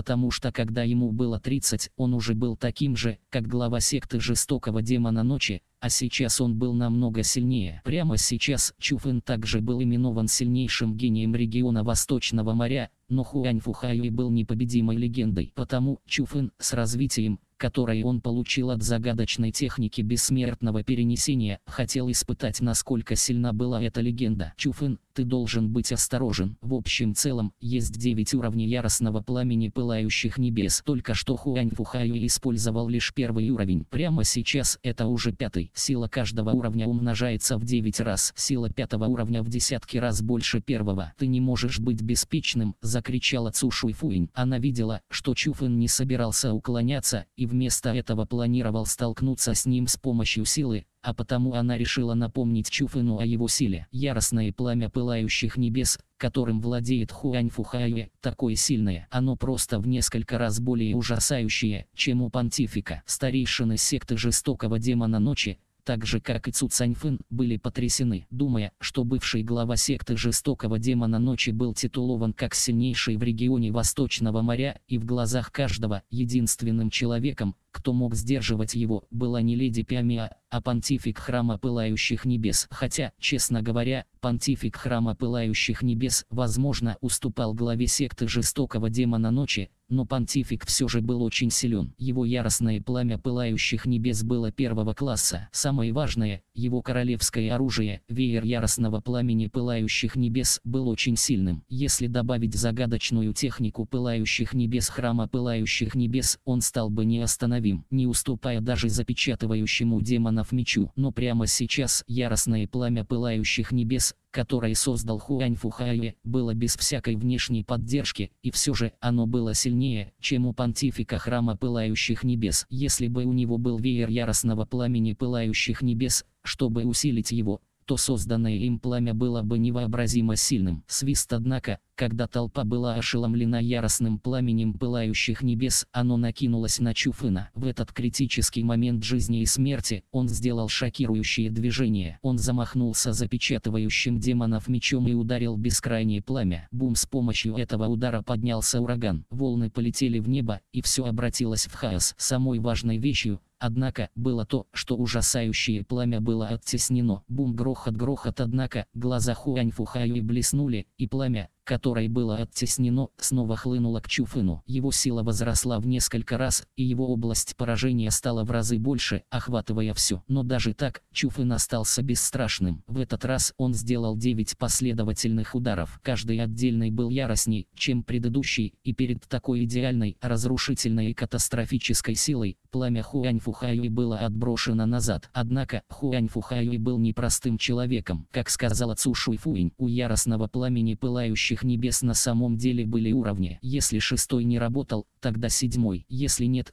то восьмой. Мощность каждой отдельной стадии была девятикратно предыдущей. В конце концов, даже Чуфэн стал испытывать огромное давление, особенно когда Хуань Фухаю использовал девятый уровень яростного пламени пылающих небес, сила, которую оно выпускало, заставляло даже само пространство пойти трещинами в радиусе нескольких тысяч миль. Даже море внизу закипело. Если бы не было многочисленных экспертов среди наблюдателей, которые заранее заложили духовные формации, чтобы защитить толпу, один только жар этого пламени способен был обратить всех в пепел. Потому, столкнувшись с таким ужасающим пламенем, Чуфэн мог использовать лишь запечатывающий демонов меч. Это был король королевского оружия, и его сила не могла быть недооцененной. Когда Чуфэн стал боевым королем пятого ранга, сила меча печати демона также соответственно выросла. Это действительно потрясающий бой. Я никогда бы не подумал, что смогу увидеть подобную схватку. Теперь я могу умереть без сожалений, когда Чуфэн и Хуаньфу Хаю обменивались ударами, чередуя защиту и нападение, люди, спрятанные в защитной духовной формации ощущали, как их кровь кипит от восхищения. Они все были поражены огромной силой этих двух. В регионе Восточного моря боевые короли были высшими существами. Тут не было боевых императоров, как минимум за последние 10 тысяч лет. Потому никто не видел славную битву между боевыми императорами. Но сегодня, после того, как они увидели битву между Чуфеном и Хуаньфухае, они были потрясены. Они никогда не видели настолько интенсивной битвы. Несмотря на то, что они знали, что это было все еще далеко от битвы между боевыми императорами, они все равно чувствовали огромную честь стать свидетелями этого. Даже рискуя собственными жизнями, чтобы лично увидеть подобное зрелище, они полагали, что оно того стоило. Свист однако, только в этот момент Хуань Фухаюй повернул ладонь. Появился белый веер. Он был очень длинным, полтора метра длиной. Он был совершенно белым и наемного сияющим. Он был сделан не из бумаги, казалось, что он сделан из полупрозрачного нефрита. Свист внезапно, Хуань Фухаюй повернул свое запястье, и огромный веер раскрылся. Потом из его ладони появилось пламя. Пламя выглядело очень странно, как будто это были огненные змеи, когда они вырвались из белого веера. В этот момент безграничная аура была выпущена из тела Хуань Фухая. Это было королевское орудие, и абсолютно точно необычное королевское оружие. Это веер яростного пламени пылающих небес. Это означает, что Хуань Фухая стал понтификом храма пылающих небес. Видя этот веер, все сделали глубокий вдох. Они узнали веер Хуань Фухая. Это было королевское оружие, которым только понтифик храма пылающих небес мог владеть. Он был очень похож на запечатывающий демонов меч. У него не только была мощная сила, он также имел особое значение, был обязательным атрибутом понтифика. Другими словами, человек, который мог держать этот веер, был понтификом храма пылающих небес. Потому, чтобы быть наиболее точным, человеком, который сражался с Чуфыном, был не только Хуань Фухае, но и понтифик храма пылающих небес. Глава 979. Решение исхода. Свист внезапно глаза Хуаньфухаю и выпустили холодный отблеск, когда он махнул веером яростного пламени пылающих небес. Пламя, которое Чуфын подавил, появилось вновь, но в этот раз пламя существенно усилилось. Сама его природа сильно изменилась. В этот момент пламя было по-настоящему яростным, и даже Чуфын ощутил огромное давление. Однако, несмотря на это, он не отступил. Вместо этого, он закричал. Убойная формация четырех символов. Уа мгновенно четыре священных зверя вырвались из тела Чуфына. Они безумно побежали к яростному пламени пылающих небес и слились воедино. Они кружили вокруг формации, и пока они бежали вперед, убойная формация четырех символов увеличилась. Бум, грохот, грохот, грохот, ее сила была безграничной. После вхождения в яростное пламя пылающих небес, они создали в бушующем пламени хаос. В конце концов, оно полностью исчезло. Однако, после того, как оно исчезло, убойная формация четырех символов не остановилась и со своей несравнимой божественной мощью, она проложила свой путь к Мужунь Ментиню. Именно целью Чуфына был не Хуань Фухае,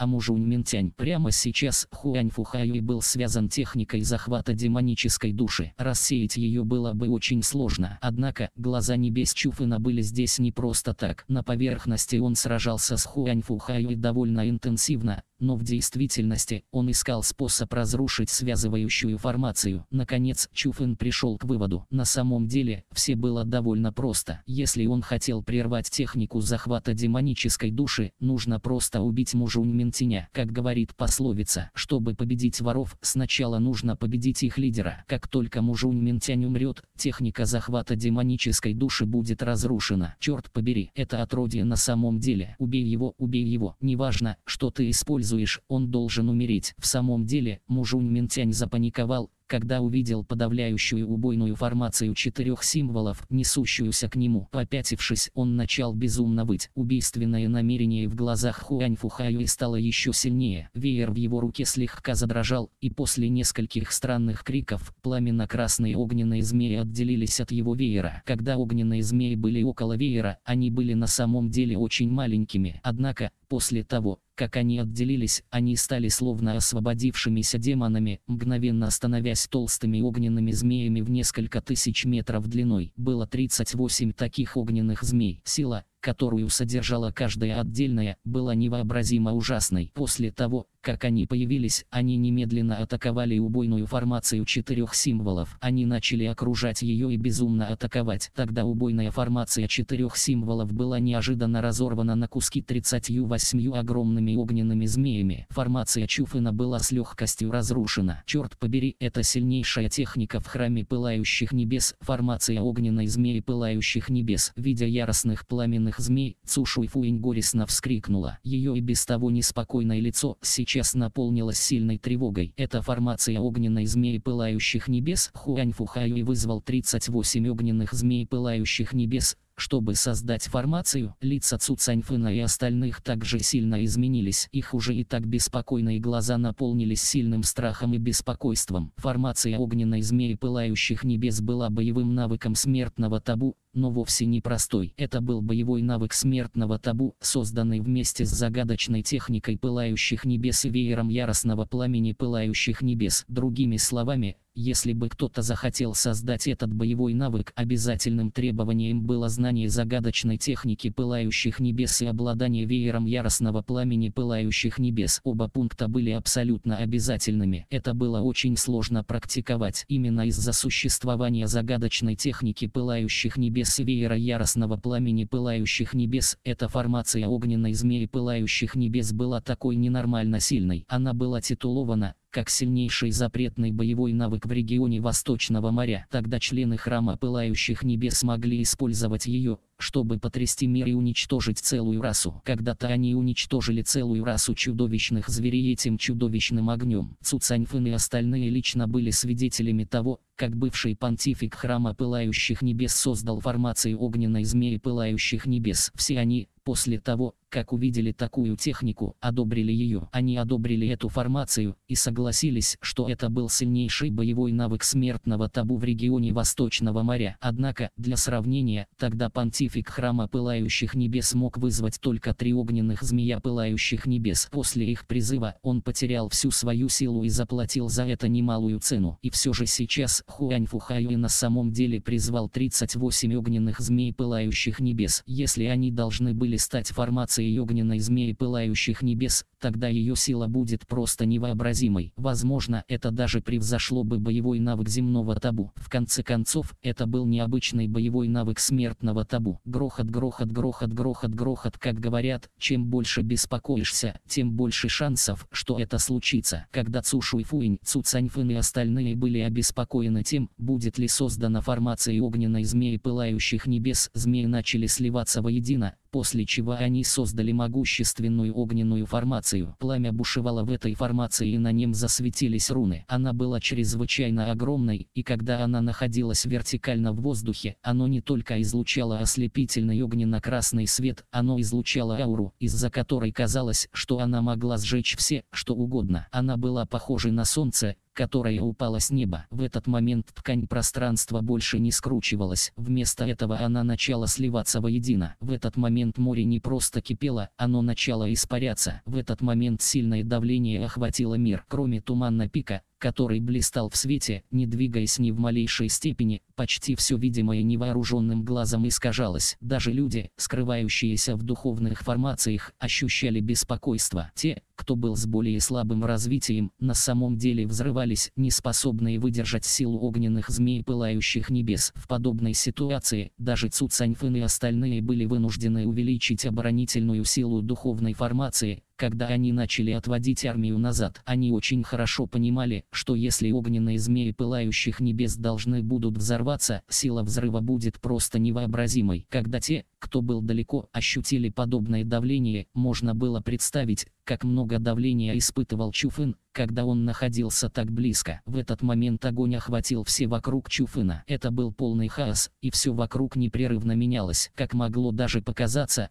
будто он стоял в воздухе. Больше казалось, что он стоял в бесконечной печи. Капли пота безостановочно появлялись на коже Чуфына. Они скользили по его коже, но не успевали они соскользнуть, как уже испарялись. В настолько высокой температуре лицо Чуфына стало красным, но даже так он оставался спокоен. С улыбкой на лице он спокойно сказал, в конце концов, кажется, что мне все же придется использовать это, чтобы все закончить. Глава 980. Занавес падает. Чуфын, ты на самом деле собираешься использовать рассечение небесного свода? Ты хочешь покалечить себя? Яичко, которая оставалась тихой, внезапно заговорила. Эта королева смотрела, как Чуфын растет, и она испытала все, что Чуфын испытал. Не было никого, кто бы знал его лучше, чем она. Он прекрасно знала, что сильнейшим смертельным ударом Чуфына было рассечение небесного свода. Однако это была палка о двух концах. Когда он пользовался этой силой, эта сила также воздействовала и на него. Это сильно ранило тело Чуфына. Рассечение небесного свода было именно таким боевым навыком. Прежде, хотя на первый взгляд не было проблем, когда Чуфын использовал рассечение небесного свода, чтобы разобраться с Цзянцыша, различные проблемы начали возникать в его теле. Даже сейчас он лишь терпел. Если прямо сейчас он вновь использует рассечение небесного свода, тогда урон, нанесенный его телу, станет еще больше, возможно, что даже неисцелимым. Это был не только вред, нанесенный его телу, он нанесет урон его будущему развитию. Яичко, я знаю, что ты беспокоишься за меня,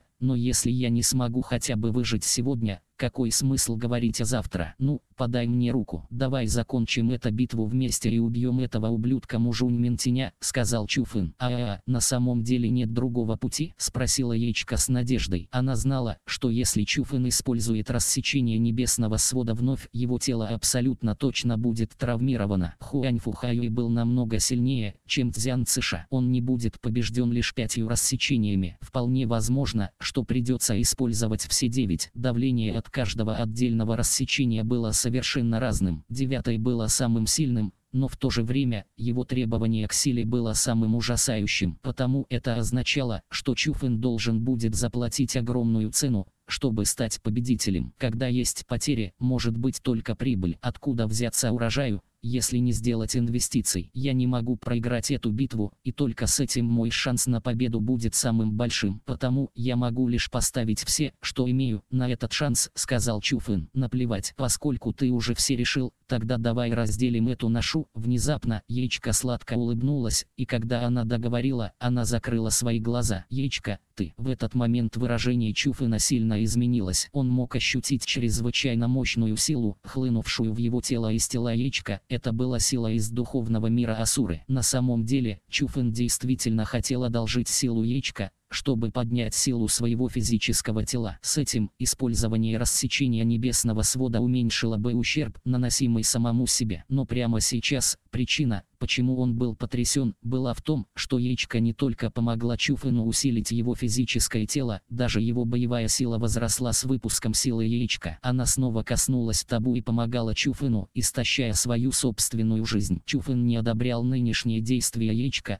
но в этом бою на кону стояла не только его собственная жизнь и жизнь яичка. Жизни всех остальных были связаны с ним. Потому Чуфин не стал возражать. Он позволил яичка использовать этот метод, чтобы помочь ему. Хаймым внезапно, сила яичка вырвалась из тела Чуфына. Черные языки пламени стали парой черных крыльев. Когда они раскрылись, каждый мог ощутить, как сила Чуфына возросла. Ублюдок, на что, черт побери, ты уставился? Почему ты еще не убил это отродье? Снова взревел мужунь Ментянь, когда увидел это. Бум грохот грохот грохот после того, как Мужунь Ментянь скомандовал, Хуань Фухаю и без колебаний атаковал. С притоком силы, несопоставимо ужасная формация огненной змеи пылающих небес стала двигаться к Чуфыну. После того, как формация двинулась, все в границах туманного пика начало неистово дрожать. Не только дрожать, почти все сжигалось хлынувшим пламенем. Дерьмо, бежим. Все ощутили предстоящую катастрофу. Они на самом деле были свидетелями ужаса формации огненной змеи пылающих небес. Они знали, что несмотря на то, что они были очень далеко от поля битвы, не было сомнения, что они умрут, когда формация окончательно взорвется. На самом деле, в этот самый момент из сотни миллионов наблюдателей, одна десятая уже не могла выдержать пылающую ауру. Они взрывались и умирали. Резня уже началась. Потому, кроме нескольких наблюдателей, которые решили остаться здесь, продолжая смотреть эту ужасную битву без уважения к своим жизням, огромное число наблюдателей уже начали разворачиваться и бежать, планируя спасти свои жизни. Однако, несмотря на то, что наблюдатели бежали, члены секты жестокого демона ночи и Цзелин с остальными не стали, ни один не ушел. Они все стояли в воздухе и позволяли яростным волнам воздуха врезаться в духовную формацию, которая защищала их. Несмотря на опасность, не было ни одного человека, который пятился. Все были сосредоточены на Чуфыне. Они уже доверили все свои надежды ему и даже рискнули своими жизнями, поставив все на него. В этой битве,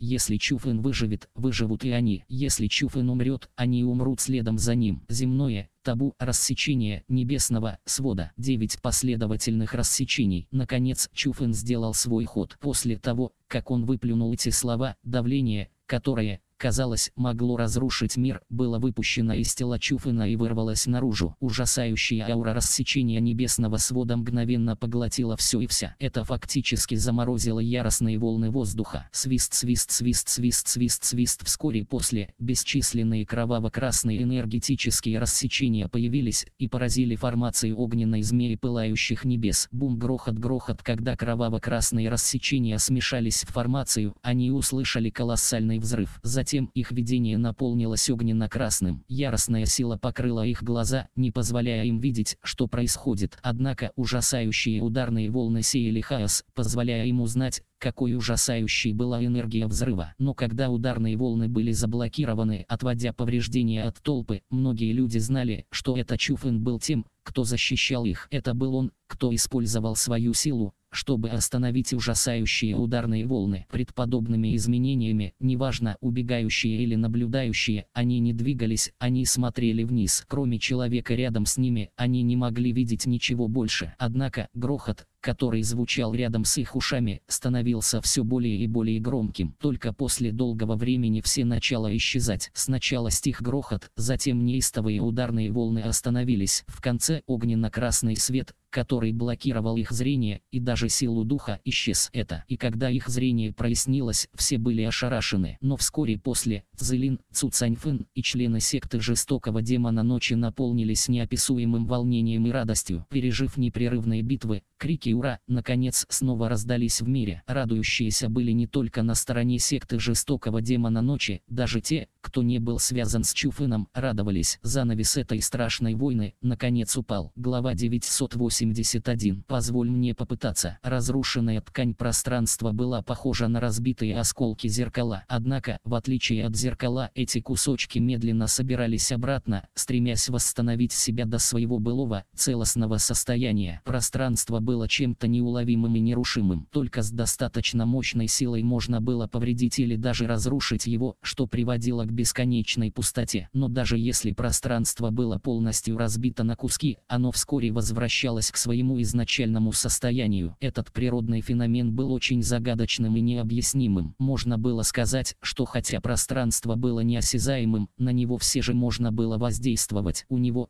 казалось, был предел, и как только чья-то сила превосходила этот предел, оно разрушалось. Но из-за его свойства самовосстановления, пространство не могло быть уничтожено. Даже если кто-то мог уничтожить горы одной ладонью, развеять облака одним кулаком, разрезать реки одним пинком, почти никто не мог действительно разрушить пространство. Например, море под ними в этот момент. В этой битве оно пострадало почти так же, как и ткань пространства, но уже в этот момент последнее уже вернулось в норму, пока первое все еще кипело, пока тепло и пар взмывали в небо. Даже показались некоторые небольшие участки грязи и камней, которые ранее были морским дном. Однако, даже в тех регионах, где море было глубже, огромные трупы до сих пор плавали на поверхности воды. Это были тела морских зверей. Несмотря на то, что они скрывались в глубинах, они тоже не смогли избежать катастрофы, и в итоге были убиты силой формации огненной змеи пылающих небес. Чуфын, чуфын, чуфын. Однако, неважно, какие разрушения и беды случились в окружающем мире, имя Чуфына раздавалось повсеместно. Почти все кричали его имя, даже наблюдатели радовались в бесконечном волнении. В этот самый момент, на далеком поле боя, Чуфэн все еще находился в небе. Что касалось Хуань Фухаи, он схватился за голову, наполовину коленопреклоненный. Демоническая аура, исходящая из его тела, исчезла. В этот момент он слегка дрожал и выглядел как тигр, который лишился зубов. Он больше не был угрозой Чуфыну. В действительности, он скорее был в ужасе от своего противника. Хуань Фухае, бывший сильнейший гений в регионе Восточного моря, был поражен Чуфыном. Что касалось Мужунь Ментиня, его тело оставалось плавать в воздухе. Его безжизненные глаза были широко открыты, а рот разинут. Его лицо застыло в страхе и горечи. Комбинация была довольно ужасающим зрелищем. Несмотря на его неприглядное выражение, он не излучал ауры из запугающей раны на его груди. Рана создавала хаос в его теле, разрушая все внутри, включая его дантянь. Не только его органы были уничтожены, даже его источник энергии был поглощен. В самом деле, Чуфэн не просто убил мужунь Ментиня, этого монстра, прожившего несколько сотен лет, он даже впитал источник энергии этого старого монстра, боевого короля седьмого ранга. Мужунь Ментянь был побежден. Архипелаг Кары Бессмертных исчез. Даже три великих чудовищных клана были истреблены, и все это было связано с Чуфыном. Однако, причиной таких оглушительных криков радости было не только то, что Чуфын выиграл эту битву, и не только в подлизывании эти крики радости вырывались из глубин их сердца. Они искренне болели за Чуфына. Он не только выиграл эту битву, он даже спас жизни всех присутствующих. Судя по ударной волне, если бы не Чуфын, тогда Хуань Фухаю изжег бы всех дотла формации огненной змеи пылающих небес. Яичко,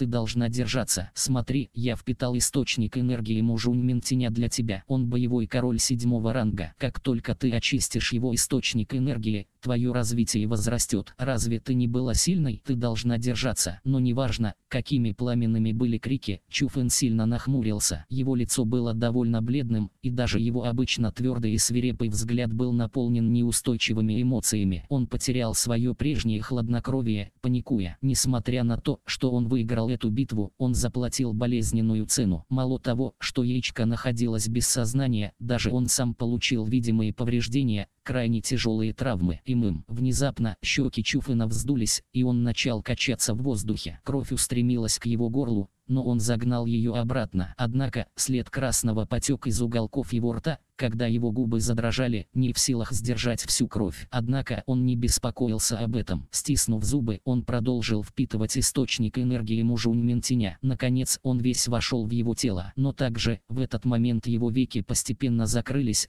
а его тело завалилось влево, когда он потерял способность летать, таким образом, падая с неба. Более того, будь то черные крылья позади него или броня молний, охватывающая его, они оба мгновенно исчезли. Они вернулись в его тело, а его аура стремительно ослабевала. Он очень быстро вернулся к уровню боевого владыки восьмого ранга. Нет, в этот момент толпа все еще ликовала. Однако, когда они увидели, что Чуфэн падает с неба, они все были напуганы. Что касалось Цу Цаньфына и остальных, они быстро помчались к Чуфыну. Наконец, первым прибыл Цу Цаньфын и поймал Чуфына в свои руки. Только тогда он обнаружил, что Чуфэн потерял сознание. Более того, его аура была чрезвычайно слабой. Самой тревожной вещью было то, что аура Чуфына все еще ослабевала. Хотя это было уже не так быстро, если это продолжится, Чуфын может умереть. Черт побери, ничто не работает. Цу Цаньфын пытался помочь Чуфыну, но неважно, что он делал, все было бесполезно. Он даже не мог определить, где именно была проблема. «Позволь мне попытаться», Цу Шуйфуинь забрала Чуфына из рук Цу Цаньфына. Она заложила формацию и положила Чуфына на поверхность. Затем она начала использовать особую лечащую технику. Ее метод был очень основательным. Он был из Туманного пика. Хотя она была из храма Пылающих Небес, она все же была дочерью леди Пиамиа. Естественно, она унаследовала от нее немало техник. Но даже если это были техники Туманного пика, они оставались бесполезны. Чуфын выглядел как человек, обреченный умереть, шаг за шагом приближаясь к вратамала. Казалось, что никто не мог остановить его. Это на самом деле заставило всех забеспокоиться. Чуфын, ты должен держаться. Чуфын, ты не можешь оставить нас. В этот момент Зелин и остальные окружили его. Видя Чуфына, чья аура была действительно слабой, и чье тело было ледяным, даже несмотря на лечение, Зелин, Суроу, Сумэй и даже Чуню и остальные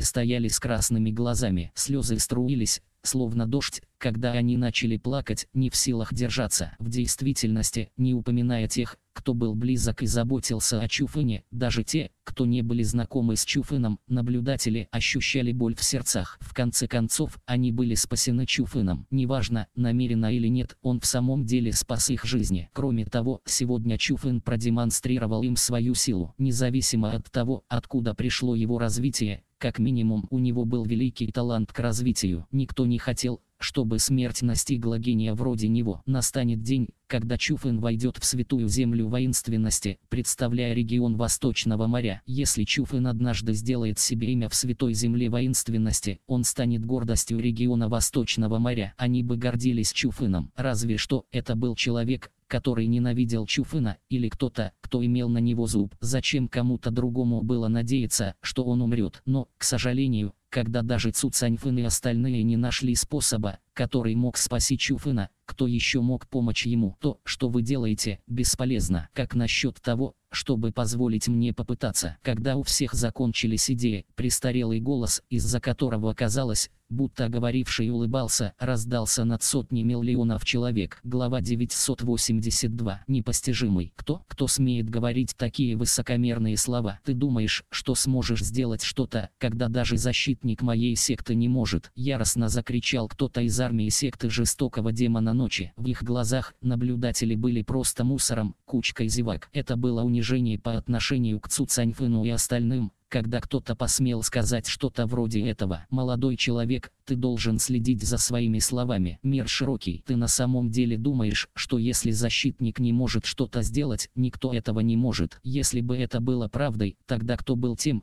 кто довел вашего главу секты до такого состояния. Престарелый голос раздался снова, но в этот раз небольшой насмешкой. Наглость. Уже разъяренные члены секты жестокого демона ночи, естественно, были еще больше раздражены словами старика. Они выглядели так, будто готовы броситься в толпу наблюдателей и схватить говорившего. «Вы все закройте свои рты!» Неожиданно Цу Цаньфэн со злостью закричал. После его слов люди из секты жестокого демона ночи были как спущенные воздушные шарики. Никто не смел сказать ни слова. «Сэр, могу я спросить, кто вы? Можете ли вы показать себя, чтобы поговорить?» Отругав толпу, Цуцаньфын очень вежливо всплеснул руками широкому морю людей. Он обнаружил, что несмотря на то, что он сосредоточился на голосе этого человека, его местоположение все еще было неопределенным. Это означало, что говорящий был вовсе непростым. «Мое имя не стоит упоминания, но судьба однажды свела меня и Чуфына, а потому я хочу протянуть ему руку помощи. Этот голос раздался еще раз, и в этот момент престарелая фигура медленно вышла из моря людей, и его внешность таким образом появилась перед толпой. У этого старика были белые, как снег волосы. Они были очень длинными, и были как серебряный водопад. Они спадали вниз, прямо к его ногам. Но самой шокирующей вещью было то, что глаза старика были закрыты, он был слеп. Кроме того, он был на восьмом уровне сферы небес. Цуцаньфын и остальные нахмурили брови, когда тень подозрения и замешательства появилась в их глазах. Этот старик был слеп глазами, но не сердцем. Каждый шаг был спокоен, когда он шел к Чуфыну и остальным. Это просто не выглядело как что-то, что мог сделать слепой. Самое важное, После того, как этот старик появился, независимо от их наблюдений, Цуцаньфын и остальные обнаружили один результат. Он был на восьмом уровне сферы небес, в этом не было сомнений. Однако, казалось бы, чем меньше у них было сомнений относительного его силы, тем больше они чувствовали, что старик был вовсе не простым, потому что это означало, что он скрывает свое развитие слишком идеально. Старика не волновало, когда на него смотрели такими сложными взглядами. Он шел прямо к Чуфыну и положил свои руки на грудь Чуфына. На самом деле,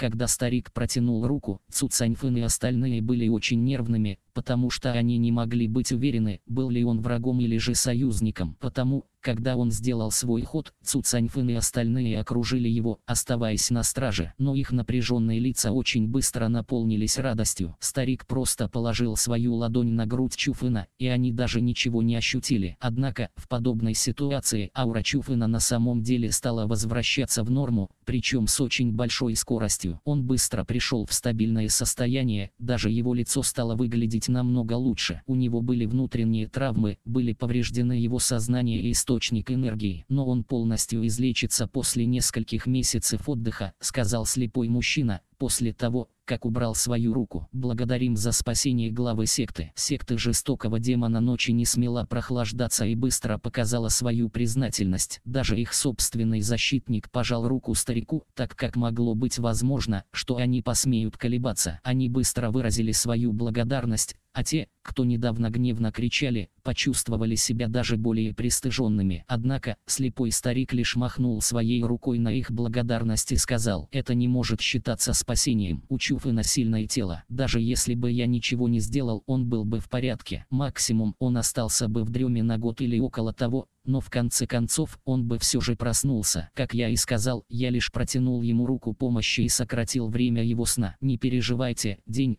когда он проснется, будет днем, когда его тело будет полностью излечено. Пока он будет без сознания, просто хорошо о нем заботьтесь. Цу Цаньфын и остальные ощутили даже более сложные эмоции, когда услышали слова старика. Они даже не понимали, что именно случилось с Чуфыном, и все же этот старик уже знал о его повреждениях еще до того, как он вошел с ними в контакт. Это было еще одним доказательством непостижимости этого старика. А, -а но именно в этот момент Хуань Фухае, все еще обнимая свою голову, болезненно закричал, как будто он испытывал самую болезненную пытку. Хае, Цушуй Фуинь запаниковала. Он подскочила и хотела помчаться к нему. Фуинь, это опасно. Не ходи. Тайкау быстро вернул Цушуй Фуинь назад. Отец, позволь мне пойти. Я не могу оставить его одного. Цушуй Фуинь хотела сбежать из схватки Тайкау. Фуинь, успокойся. Прямо сейчас Хуань Фухаю еще не проснулся. Кто знает, станет ли он атаковать тебя. Тайкау умолял, не желая ее отпускать. Леди Цушуй, не вините меня за то, что я лезу куда мне не следует, но твой отец прав. Разум Хуань Фухайо до сих пор нестабилен. Он все еще очень опасен. Будет лучше оставаться немного поодаль, посоветовал Цу Цаньфын. Отпустите ее. Формация, контролирующая этого человека, уже была дезактивирована Чуфыном. Он делает это сейчас только потому, что он напуган. Он не сделает ничего плохого. Но именно в этот момент слепой старик внезапно заговорил. Более того, после того,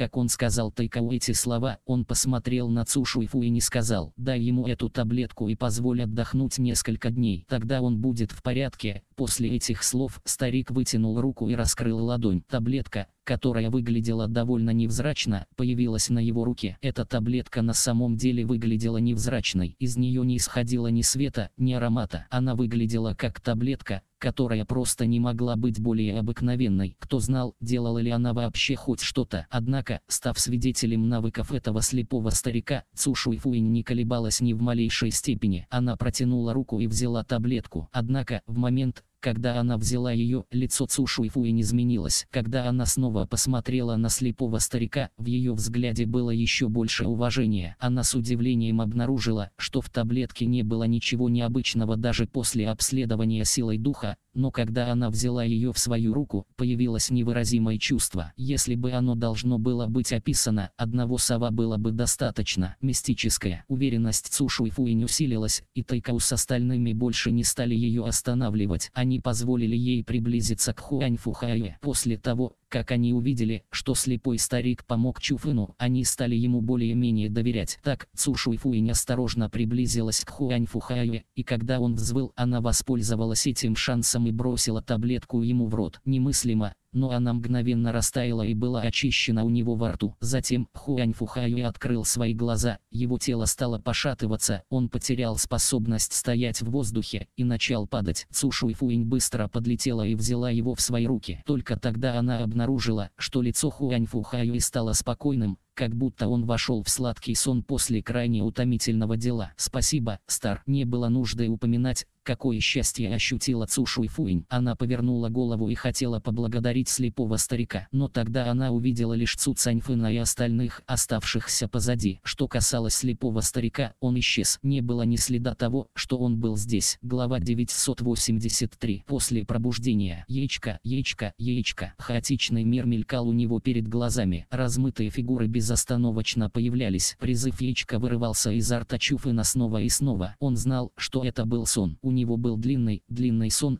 но он совершенно ничего не мог с этим поделать. От него даже не зависело, когда проснется. Но он все равно продолжал звать яичко. Он надеялся, что его зов принесет хоть какую-то пользу. Он надеялся, что яичко, которая была из-за него серьезно травмирована, сможет выстоять и выживет. Посреди этого сна понятие времени было очень туманным. Даже сам Чуфэн не знал, сколько времени прошло. Несмотря на это, его призывы яичка никогда не прекращались, потому что во сне ему не нужен был отдых, и он не чувствовал вялости, что он мог ощущать, так лишь беспокойство о яичке. Прекрати меня звать, я так комфортно спала, но была насильно тобой разбужена, наконец раздался сладкозвучный голос яичка. Не было ни следа слабости в этих словах, и вместо этого там был намек на озорство. Яичка, ты в порядке? Чуфен сильно обрадовался. Голос яичка не только казался голосом человека, который вовсе не был ранен, он был даже наполнен энергией, но у него все еще была тень сомнения. В конце концов, это был сон. Он не мог даже быть уверен, был ли этот голос действительно пришедшим от яичка. Я уже давно в порядке. С другой стороны, тебе пора бы прервать этот сон. Они тебя ждут. Быстро просыпайся. Голос яичка раздался еще раз,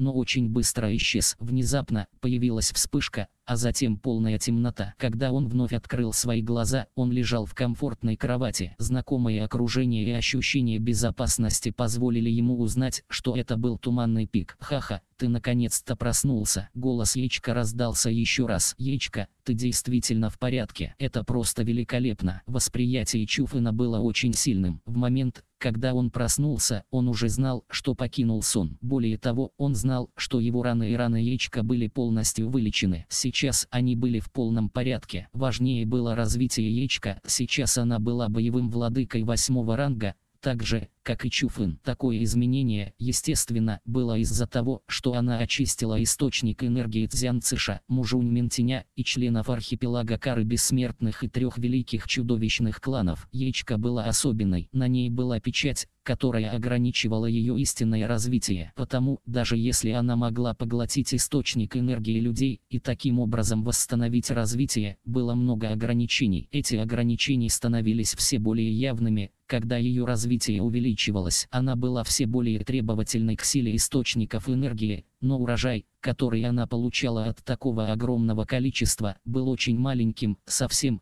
как у Чуфына. И все же она отличалась от него. Чуфын мог усилить себя всеми видами чудес природы, но яичка могла полагаться только на источники энергии. Так, Поскольку Ячка была боевым владыкой восьмого ранга, Чуфын был уверен, что это было результатом от очищения всех источников энергии, которые он впитал, и ни от чего другого. Хотя она достигла такого уровня только поглотив такое огромное количество источников энергии, боевая сила яичка все же была намного выше, чем у Чуфына. Потому, с этой точки зрения, боевой владыка восьмого ранга уже был довольно хорошим результатом. Можно было даже сказать, что персоной, которая получила больше всего пользы от этой битвы, была яичка. И мы, кажется, что кто-то тайно нам помог. Кроме того, мы бы не вылечились так быстро. Яичка кивнула, подтверждая тот факт, что она была полностью восстановлена. Кто-то помог нам. Чуфин был немного ошеломлен. Он вдруг вспомнил, что во сне он действительно почувствовал чью-то нежную силу. Однако он просто не знал, что это была за сила. В конце концов, будучи во сне, у него не было ключа к разгадке, что было правдой, а что нет? Чуфын, ты проснулся. Раздался знакомый голос. Глядя на говорящего, Чуфын увидел Цушу и Фуинь, быстро идущую к нему с радостным лицом. Сестра Фуинь. Чуфын также показал радость, когда он увидел Цушу и Фуинь. Он обнаружил, что ее лицо было очень энергичным, что означало, что с ней ничего не случилось. В противном случае, она бы не была так счастлива. Чуфын, пока не вставай. Ты только проснулся, а потому должен отдыхать. Цушу и Фуинь быстро подошла остановить Чуфына, когда он пытался покинуть свою лежачую позицию. «Сестра Фуинь, не переживай, я наполнен энергией, и на мне нет ран». Чуфэн слегка улыбнулся, и все же сел. Он очень хорошо знал свое тело, и прямо сейчас он действительно полностью восстановился. Кажется, этот старший действительно оказался прав. День, когда ты проснешься, это день, когда ты будешь полностью излечен, после того, как она внимательно осмотрела Чуфына и обнаружила, что с ним все отлично, улыбка на лице Цушу и Фуинь стала еще шире. Старший, выражение Чуфына изменилось. В день, когда ты получил серьезные повреждения и был без сознания, мы не могли ничего сделать, чтобы тебе помочь. В критический момент появился старший, который пришел и спас тебя. У этого старшего были волосы белые, как снег, и он был слеп. Он сказал, что встречал тебя однажды, а потому решил протянуть тебе руку помощи. А, точно, кто-то сказал, что этот старший бродил в вечном море крови в течение многих лет. У тебя есть какие-нибудь воспоминания о нем? Сказала Цушу Фуинь. Это он? Чуфэн пришел к осознанию. Он, естественно, помнил слепого старика в вечном море крови. Он был человеком,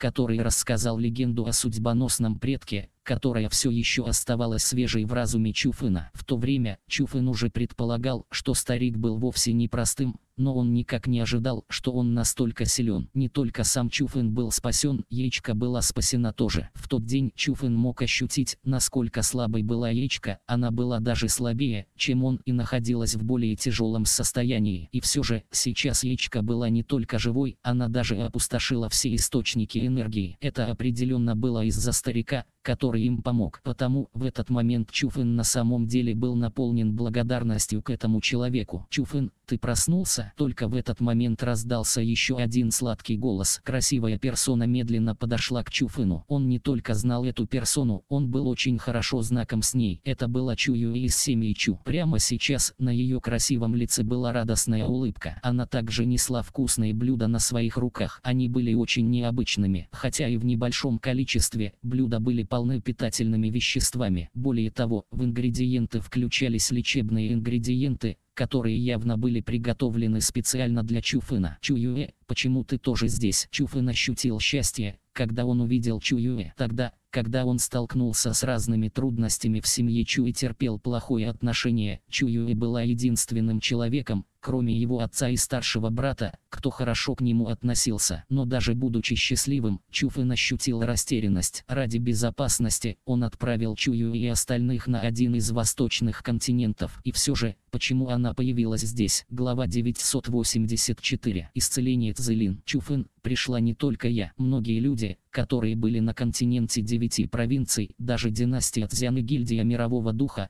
пришли сюда. Они все расположились в туманном пике. Мы можем жить вместе, как в прошлом. Глаза Чуюэ прищурились в два полумесяца, когда она улыбнулась очень красивой улыбкой. «Сестра Фуинь, что происходит?» Чуфэн не стал слишком быстро праздновать, напротив, в его глазах была тень обеспокоенности. «Чуфэн, не переживай, все просто». Цушуй Фуинь, казалось, знала, чем был обеспокоен Чуфэна, а потому она быстро объяснила. После того, как Тань Тайсюй очнулась, она немедленно ушла. Однако, перед отправлением, она сказала нам, что мы можем продолжать жить здесь, потому что это была простая случайность, что она и Цзян Цыша прибыли в регион Восточного моря. Не так легко попасть в регион Восточного моря из того места. На самом деле, можно сказать, что это было невозможно. Более того, в Святой Земле воинственности не будет никого, кто захочет отправиться в место вроде региона Восточного моря, потому что в их глазах это не более, чем свалка, на которой ничего нет. Более того, никто не знает о прибытии Таньтайсю и Цзянцыша в регион Восточного моря,